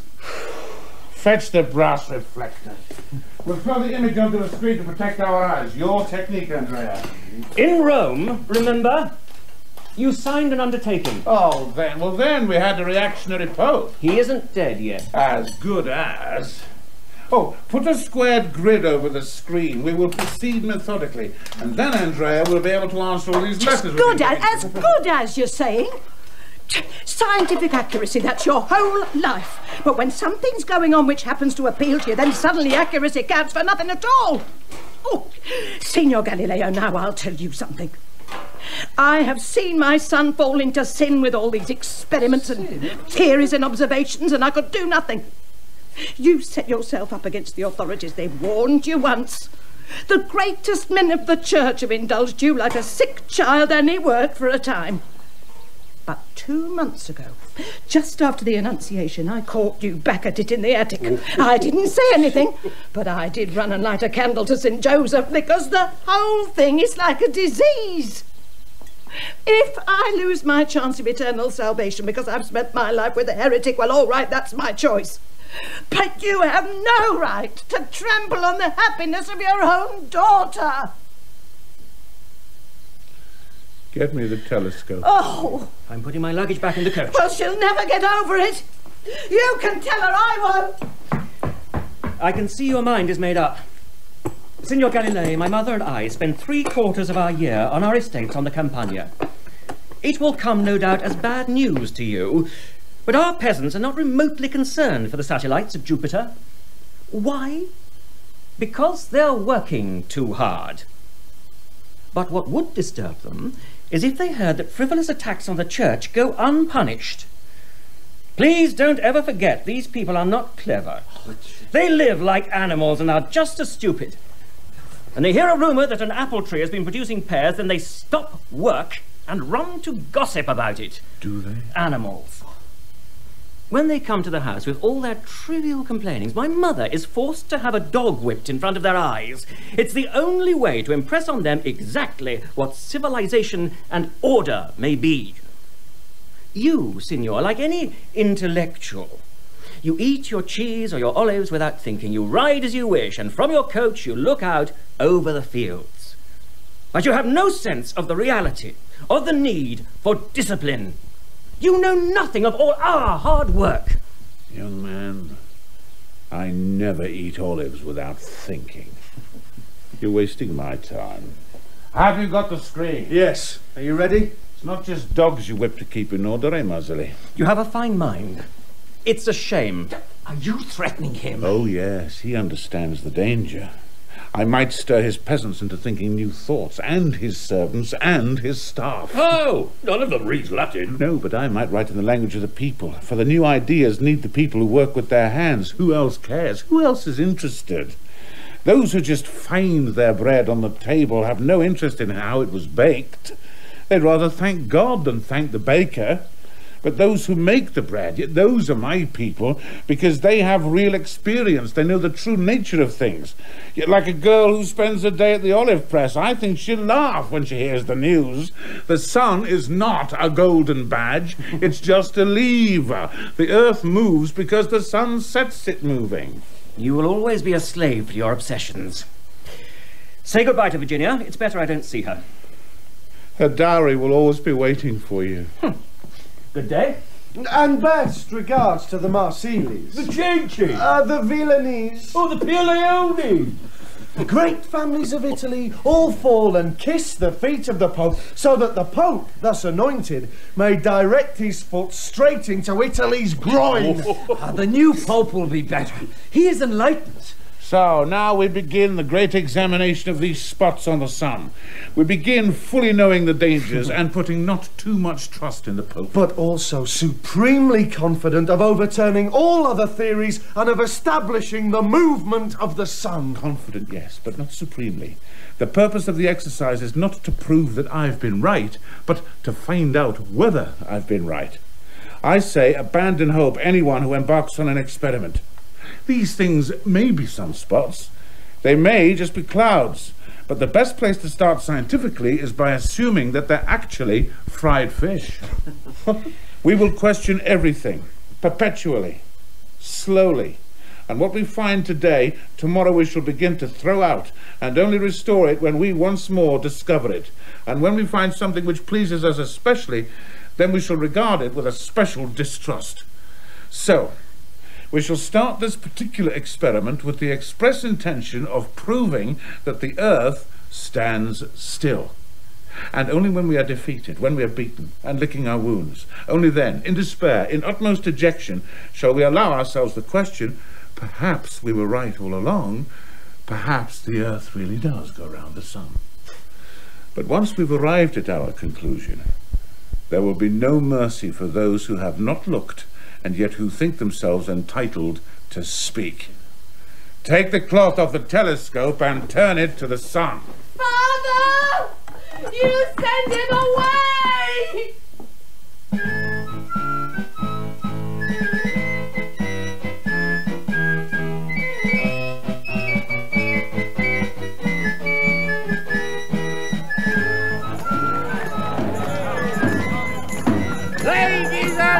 And gentlemen, as the star attraction of this year's carnival, I'm happy to present to you a Punch and Judy show.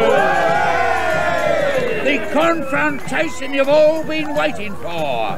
Here in front of your very eyes, we will dramatise the new age.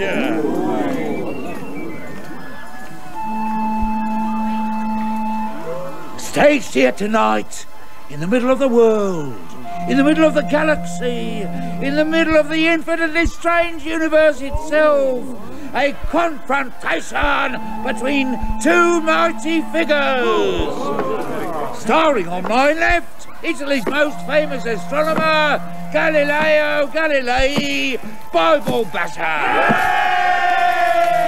And on my right, I'm afraid to say, yes, and in person himself, the forces of reaction, as embodied by your very own Pope Urban VIII. Out of the ring, seconds away, and let battle commence.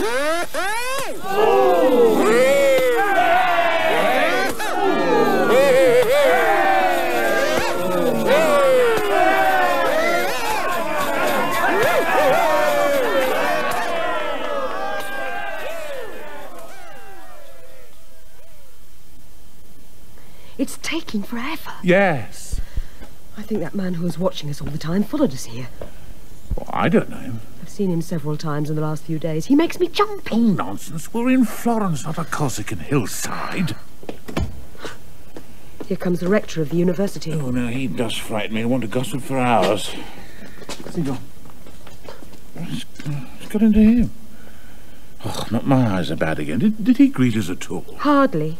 What's in your book? Do you think they will judge it heretical? You hang round in churches too much. Getting up so early and going to mass is ruining your looks. You say prayers for me, don't you? This is Signor Vanni, the iron founder you designed your furnace for. Don't forget to thank him for the quails. Did you like the quails I sent you, Signor Galilei? The quails were delicious. I must thank you again. They're all talking about you up there. They hold you responsible for these pamphlets attacking the Bible, which are on every street corner these days. I know nothing about pamphlets. The Bible and Homer are what I read. There's no need to be so cautious with me, Signor. I'm on your side. My side? What side's that? I speak for all manufacturers, all industrialists, the whole new rising class of people who are desperate to see this country move on. I'm afraid to ask. the stars mean less than nothing. But you are the man who is fighting for the right to teach what is new. Am I? Well, of course. Europe is changing. In Amsterdam and London, there are business schools, money markets, and papers with news printed on them which appear every day. Yet in Italy, we are still not given the freedom to make money. We cannot employ your inventions. We are told iron foundries are a bad thing because too many people in one place encourages immorality. yeah, that's the scale of our problems. Signor, I sink or swim with people like you. Indeed. Remember, if they try to move against you, the world of commerce will stand alongside you. The cities of northern Italy are yours. So far as I know, no one means to move against me.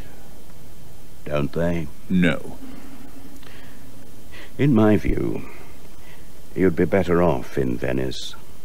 Far fewer priests. From there, you could fight. I have a travelling coach and horses outside. No, I, I don't see myself in exile. I like my comforts too much. Yes. Perhaps you understand what I'm saying. Look, I've been upstairs. It's a matter of urgency. They would prefer you not to be in Florence. Oh, nonsense. The Grand Duke has been my pupil, and the Pope himself would never countenance any kind of a trap. Uh, I'm not sure your gift is for distinguishing your friends from your enemies, Signor Galilei. I can distinguish power from impotence. Very well. I wish you luck. The fool with a grievance wants me to be their spokesman, especially in places where it won't do me any good. I've written a book about the mechanics of the universe. What people make of that is none of my concern. If only they knew how you condemn what happened everywhere last carnival. Yes. Did the Grand Duke actually send for you? No. I had myself announced. He wants the book. He has paid for it. Oh, ask that guard why we've been waiting so long. Signor Mincio, has the Grand Duke been informed that my father is waiting to speak to him? How would I know? That is no answer. Isn't it? It is actually part of your job to be polite. He says the Grand Duke is busy. I heard you say polite. What was that? I thanked him for his reply, that was all. Can't you just leave your book here? We are wasting our time. Well, I'm not sure what my time's worth nowadays. The Cardinal Inquisitor. Signor Galilei? Your Eminence. Why is the Cardinal Inquisitor in Florence, Father? I don't know. But he did acknowledge me, didn't he? I knew what I was doing when I came to Florence and kept quiet for so long. They've built me up so high they can't disown me now. His Highness the Grand Duke. Ah, Uh, Your Highness, um, I, I wanted to show Your Highness my dialogues on the two world systems. yes, uh, how are your eyes? Uh, uh, well, n- not, not, not good, Your Highness. Uh, if Your Highness will permit, I have the book here. Your eyes worry me. They worry me profoundly. Could it be that you spent uh, too much time with your tube? I Didn't take the book, eh? Father, I'm frightened. Don't let it show. From here, we will not go home. We'll go to Cutters. I have an arrangement with him. In the tavern yard next door to him, there is always a wagon with empty wine casks waiting to take me away. You knew? Don't look round. Signor Galilei, it is my duty to inform you that the Florentine court feels itself unable any longer to refuse the request of the Holy Inquisition to examine you in Rome. The coach of the Holy Inquisition is waiting, Signor Galilei.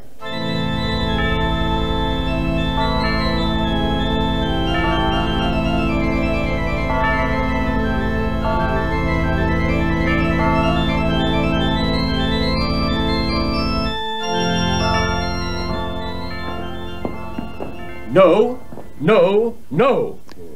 So, I see. We have here an assembly of doctors of all faculties, representatives of every part of the church, who have arrived with their childlike belief in God's word, and from you, your holiness, they will receive not confirmation, not what they have come for. Are you truly proposing to tell them the holy scriptures may no longer be regarded as true? I will not have his mathematical tables destroyed. No. Oh, do you really believe this dispute is about mathematics? Of course, that's what they would like us to think. But does anyone question the true subject? It is the spirit of denial and of doubt. In these people's minds, there is a terrible restlessness, and they project their own restlessness onto the physical world. They cry, We have no choice. Just look at the figures. Ah, but where do the figures come from? They are bred in the hothouse of their own doubt. These men doubt everything regardless. Can we build a whole society on doubt? Hmm? You are my master, but I doubt if you should be. Yes, that is your house and your wife, but better if you gave them to me. And abroad. We all know your own foreign policy is misrepresented. The Reformation tears everything apart. Christianity is becoming a victim of factions. It's riven with divisions and splits. And at this time, of course, just at this very moment when the church is threatened by war and by plague, these worms, these mathematicians, turn their goggle glasses to the skies and tell your holiness that here, in the one domain where no one hitherto has ever dared to contest you, suddenly they say, you are ill-informed. And do you think this is chance? this sudden interest in astronomy, subject which for years was of no importance at all. I mean, does anyone care? Is anyone interested? Does it matter at all how planets move?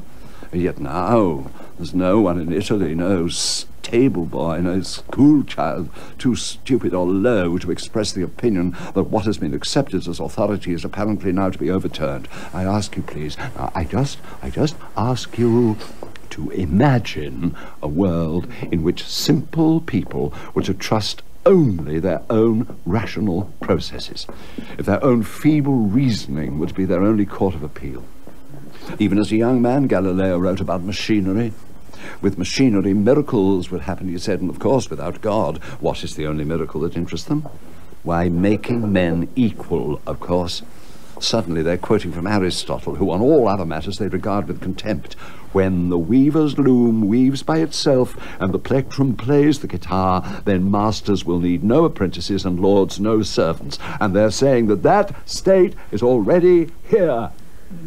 This, this, this evil man knows what he's doing when he writes his astronomical works, not in Latin, but in the language of fishwives and Oh, merchants. yes, yes. Certainly that is very bad taste. I shall mention He it to him. incites the one lot, he bribes the other. The ports of northern Italy clamour for his star charts. We'll have to give way.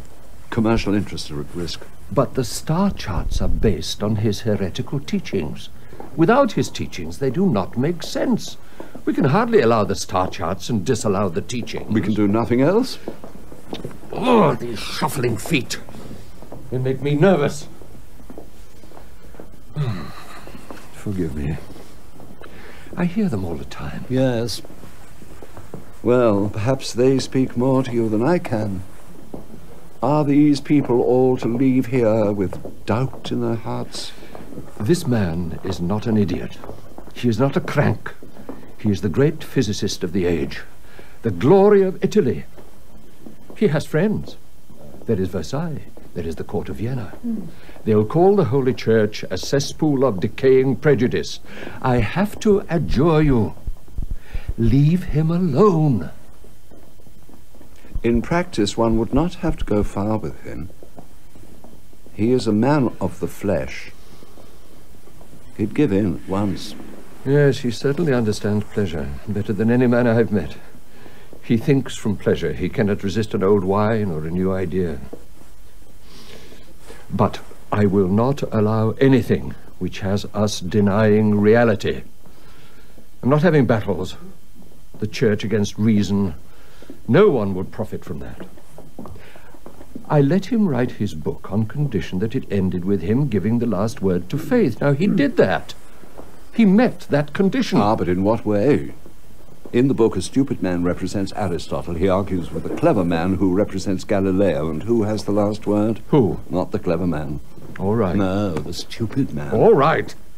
Yes, that was impertinent. And all this shuffling in corridors cannot be borne. Is the whole world coming here? Not the whole world.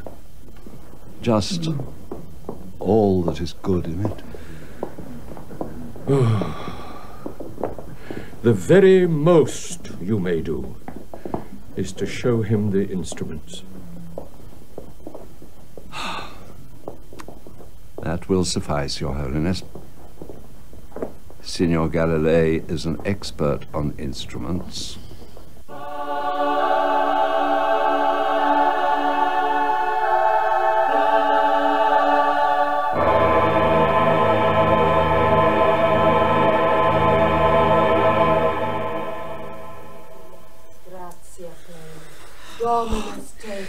The Pope wouldn't see him. No more discussions about science. And that was his last hope. It's true, you know, what Barberini said years ago in Rome at the ball that night when he was still a cardinal. He said, We need you. Well, now they have him. They will destroy him. The discourse will never be finished. You think so? Of course, because he will never recant. Stupid thoughts come to you when you're lying awake every night, huh? Last night I kept thinking, he should never have left Venice. He could not write his book there. When in Florence, he couldn't publish it. And also that, that little stone, the stone he always carries in his pocket. Do you think, do you think they let him keep it? His touchstone. Where he's going, no one has pockets at all. Th- They won't dare. They won't. They won't do it. And even if they do, he will never recant. He who does not know the truth is an idiot. But he who knows it and chooses to deny it, he is a criminal. That's what he said. I don't think he will either. If he does, I don't want to live. But they have force. Well, force can't do everything. Perhaps not. That time I came here to see him, just two days after the decree, we sat over there and, and he pointed, look there, to the little figure of Priapus by the sundial in the garden. I- He compared his work to a poem by Horace in which nothing can be changed. A fig tree log, a useless piece of wood, was I. When the carpenter, uncertain whether to carve a Priapus or a stool, decided on the god. He said, You cannot separate beauty from truth. Have you told him how he stood in the Collegium Romanum when they were examining his telescope? No. Well, he behaved as if there were nothing unusual. His hands, as always, on his behind. He stuck out his stomach and said, I ask only for reason, gentlemen.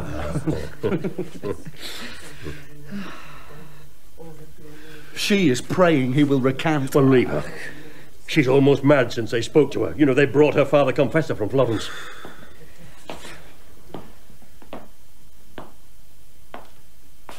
Signor Galilei will be here soon. He may need a bed. Has he been freed? Signor Galilei is expected to recant at five o'clock before a oh. session of the Inquisition. Merciful heaven! The great bell of St. Mark's will be rung. The recantation will be read out in public. I, I don't believe it. Because of the size of the crowds, Signor Galilei will be brought through the garden. The moon is an earth and has no light of its own.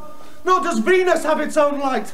Like the Earth, it revolves round the Sun. And four moons revolve round the planet Jupiter, which is in the region of the fixed stars and is not attached to any crystal sphere. And the Sun is the centre of the universe. It is motionless in space. And the Earth is not the centre and is not motionless. And He is the one who showed it to us. No force exists on earth which can make men unsee what has been seen. Look at the sundial. It's five o'clock. I can't wait any longer. They're killing the truth.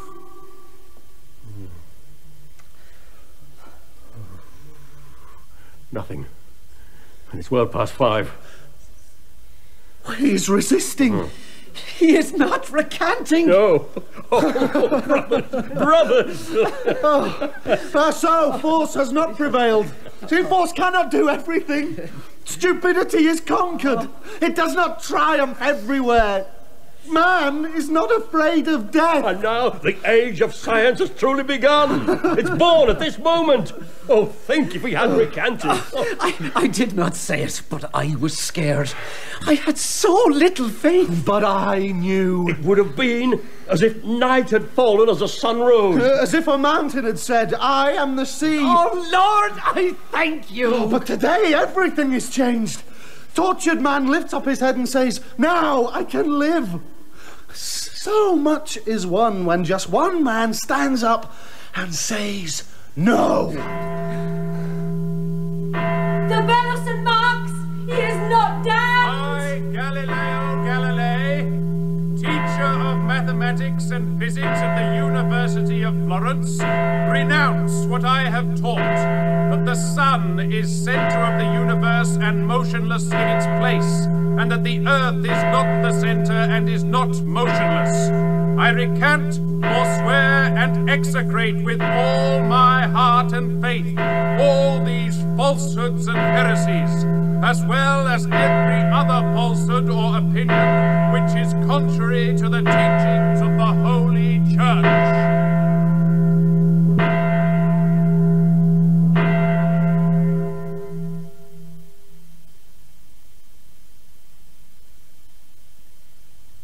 He never paid you properly for your work. You couldn't afford a pair of trousers, let alone publish your own work. It was all fine because we were working for science. Unhappy the land that has no heroes.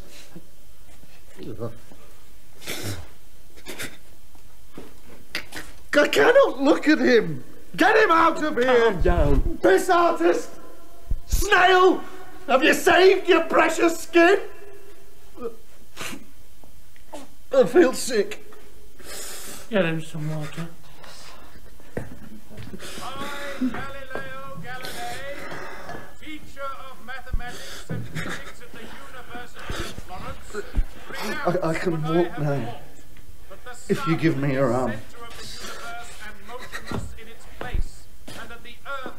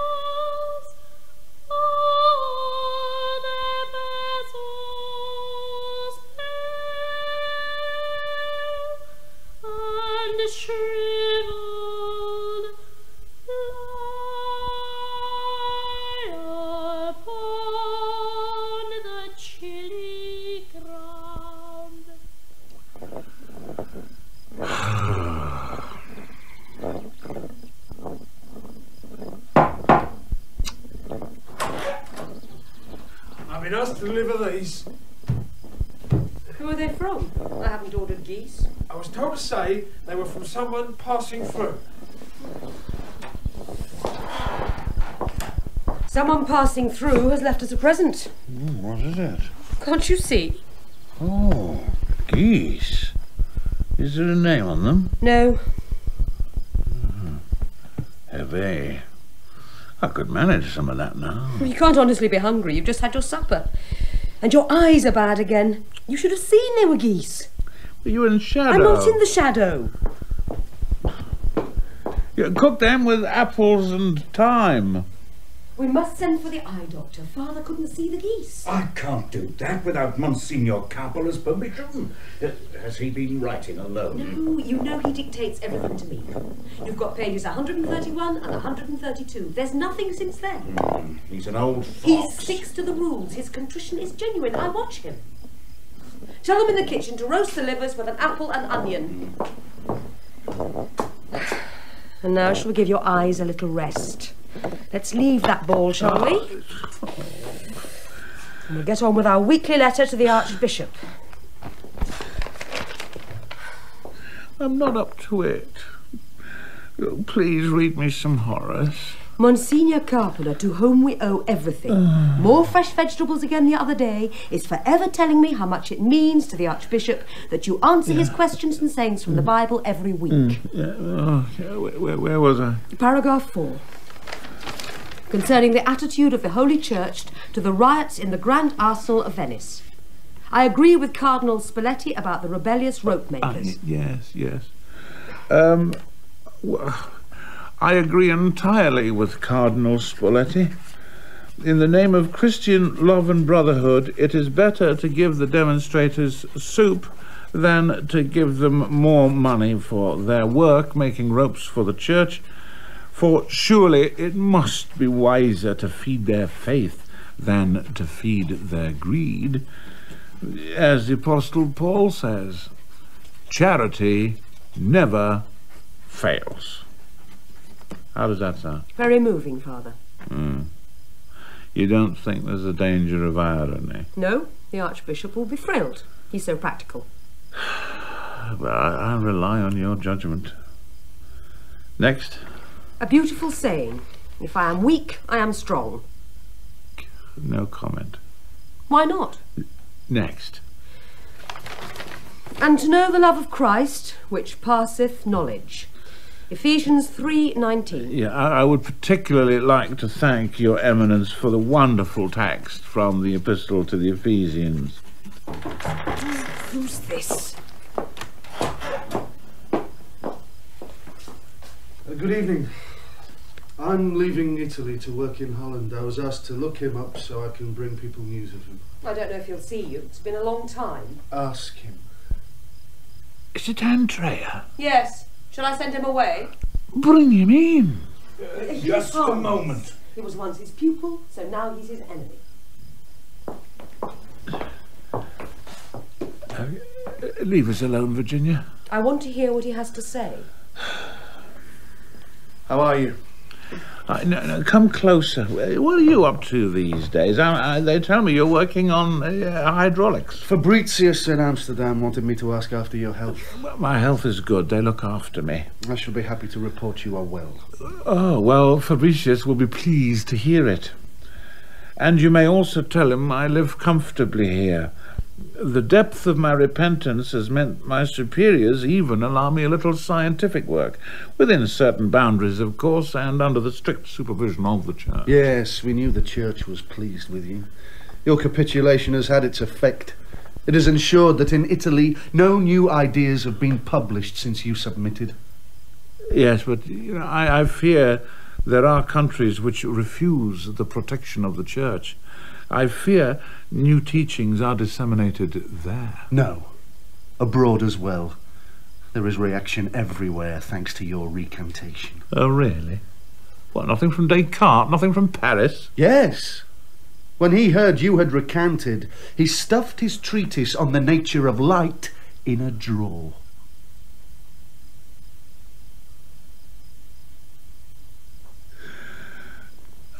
Uh, I'm anxious for certain scientific colleagues who I may have led into sin. Have they been redeemed by my recantation? To carry on working, I have to go to Holland. I see. Federzoni is grinding lenses again in some shop in Milan. Of course. No Latin, poor man. Our little monk has given up research and returned to the bosom of the church. Yes. My superiors are working on my own spiritual recovery. I am making far better progress than was first thought. Indeed. The Lord be praised. Virginia, will you go and see to those geese? I don't trust that man. He's harmless. You heard them. Come out. I need help with the geese.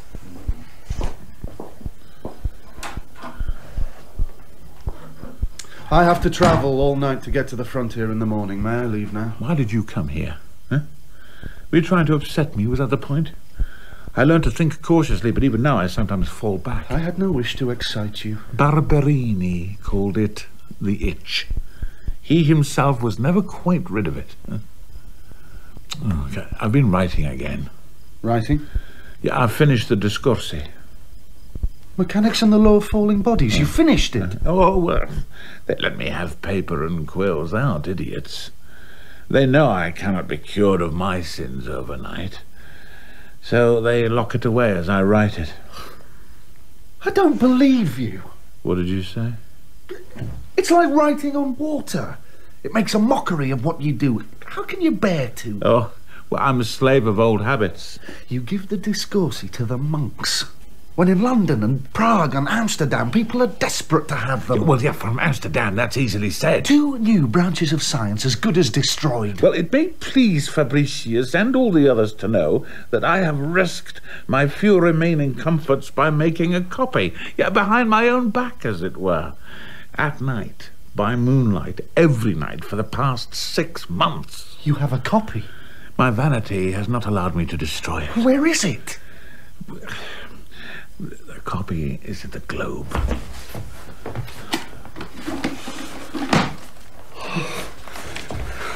The Discorsi. Now, if you were to risk taking that to Holland, then of course that would be entirely your own affair. Hmm.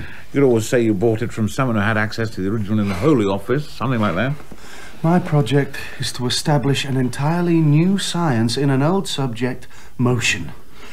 By experiment, I have managed to discover some of its properties which it is worthwhile to know. Well, I had to pass the time somehow. Oh, this will found a new physics. Stuff it under your coat. Mm. And we thought that you were a traitor. I was the bitterest critic you had. You were right. I taught you physics, and I denied the truth. But this changes everything, everything. Does it? You concealed the truth from the enemy.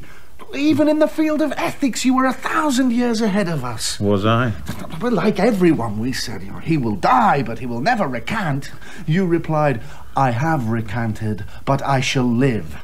But your hands are tainted, we said. You say, better tainted than empty.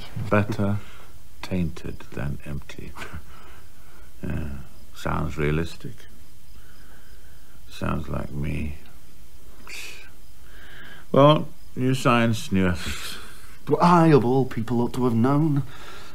I was 11 years old when you passed off another man's telescope as your own. And yet, ah. what use you then put it to? Well, all your friends shook their heads when you kowtowed to a small child in Florence. But my God, science then really caught on. You always laughed at the idea of heroes. Suffering bores me, you said. Suffering comes from failure of strategy. And, allowing for obstacles, the shortest line between two points may be the longest way around. I remember. God when you recanted, I should have realized you had a reason.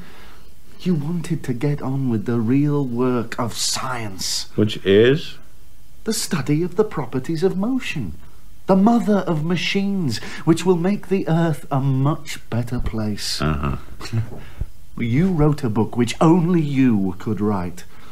If you'd been burnt as a martyr, then they would have won. They did win. And there is no scientific book that only one man can write. Why did you recount then? I recanted because I feared physical pain. No. They showed me the instruments. So you had no strategy? None.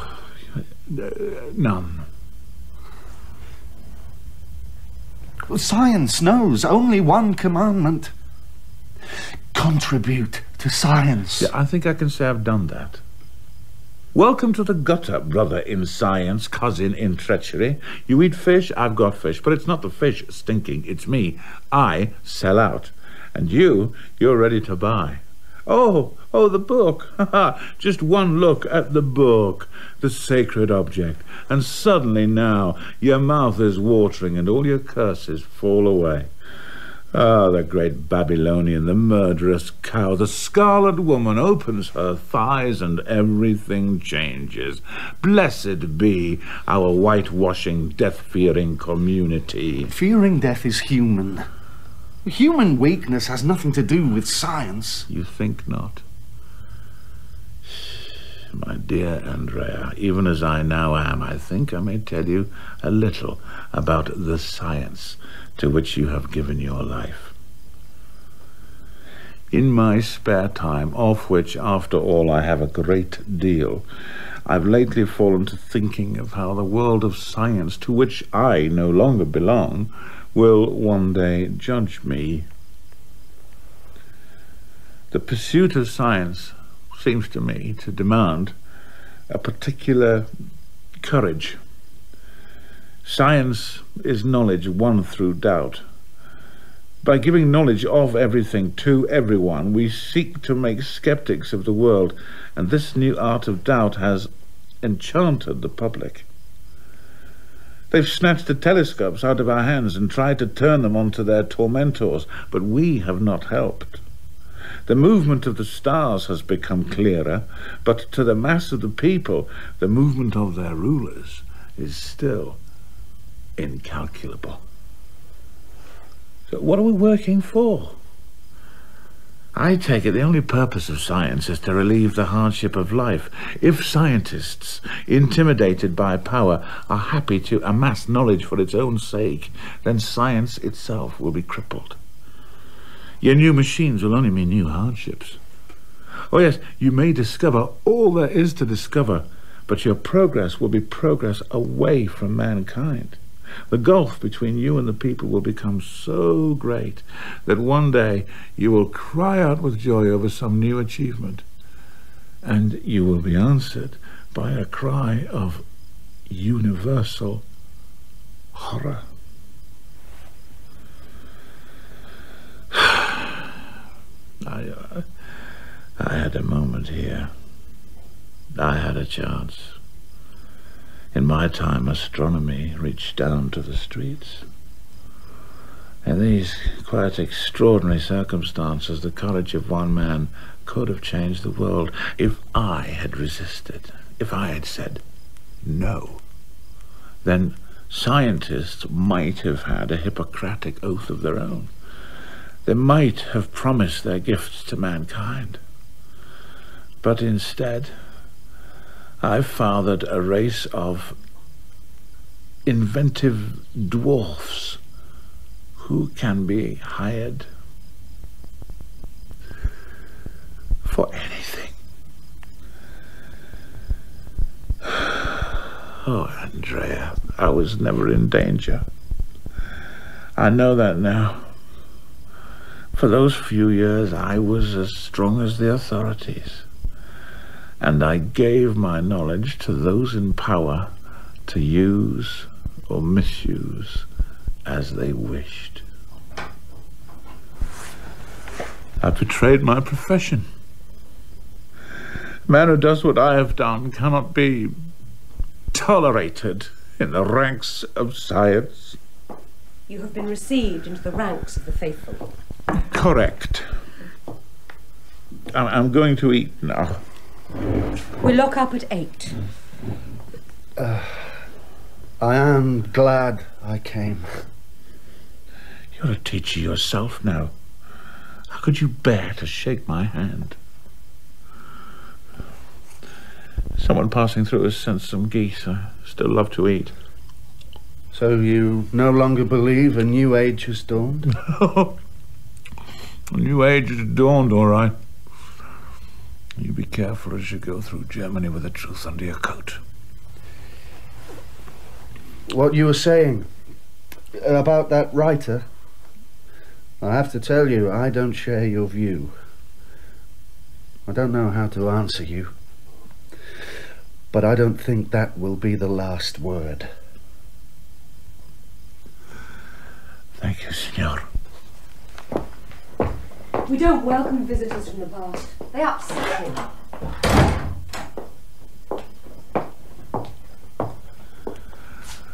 Uh, any idea who sent those geese? Not Andrea. Uh, maybe not. What's the night like? Clear.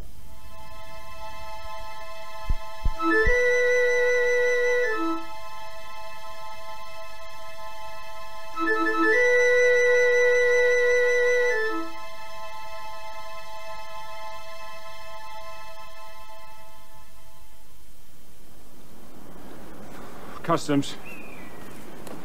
Uh, open your bags, please. Papers. Let me see. Where are you heading? Switzerland. What's this book you're carrying? Look.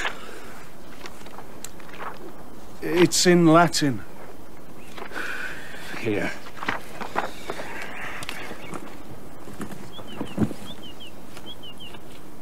Let him through.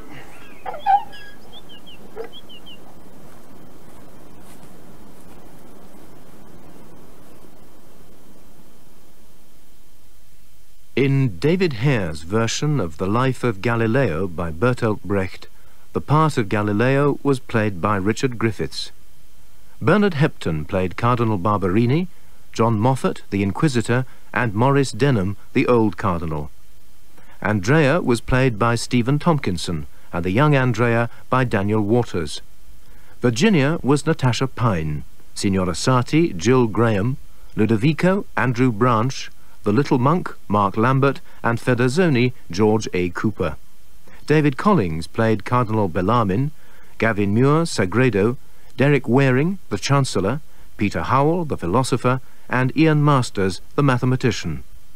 Jonathan Keeble was Cosimo, Benjamin Guy, Cosimo as a boy, Michael Tudor Barnes, Signor Vanni, and Oliver Senton, a monk. The music was composed by Jonathan Dove, and the boy singer was Connor Burrowes. The director was Janet Whittaker. David Hare's script was first commissioned by the Almeida Theatre Company.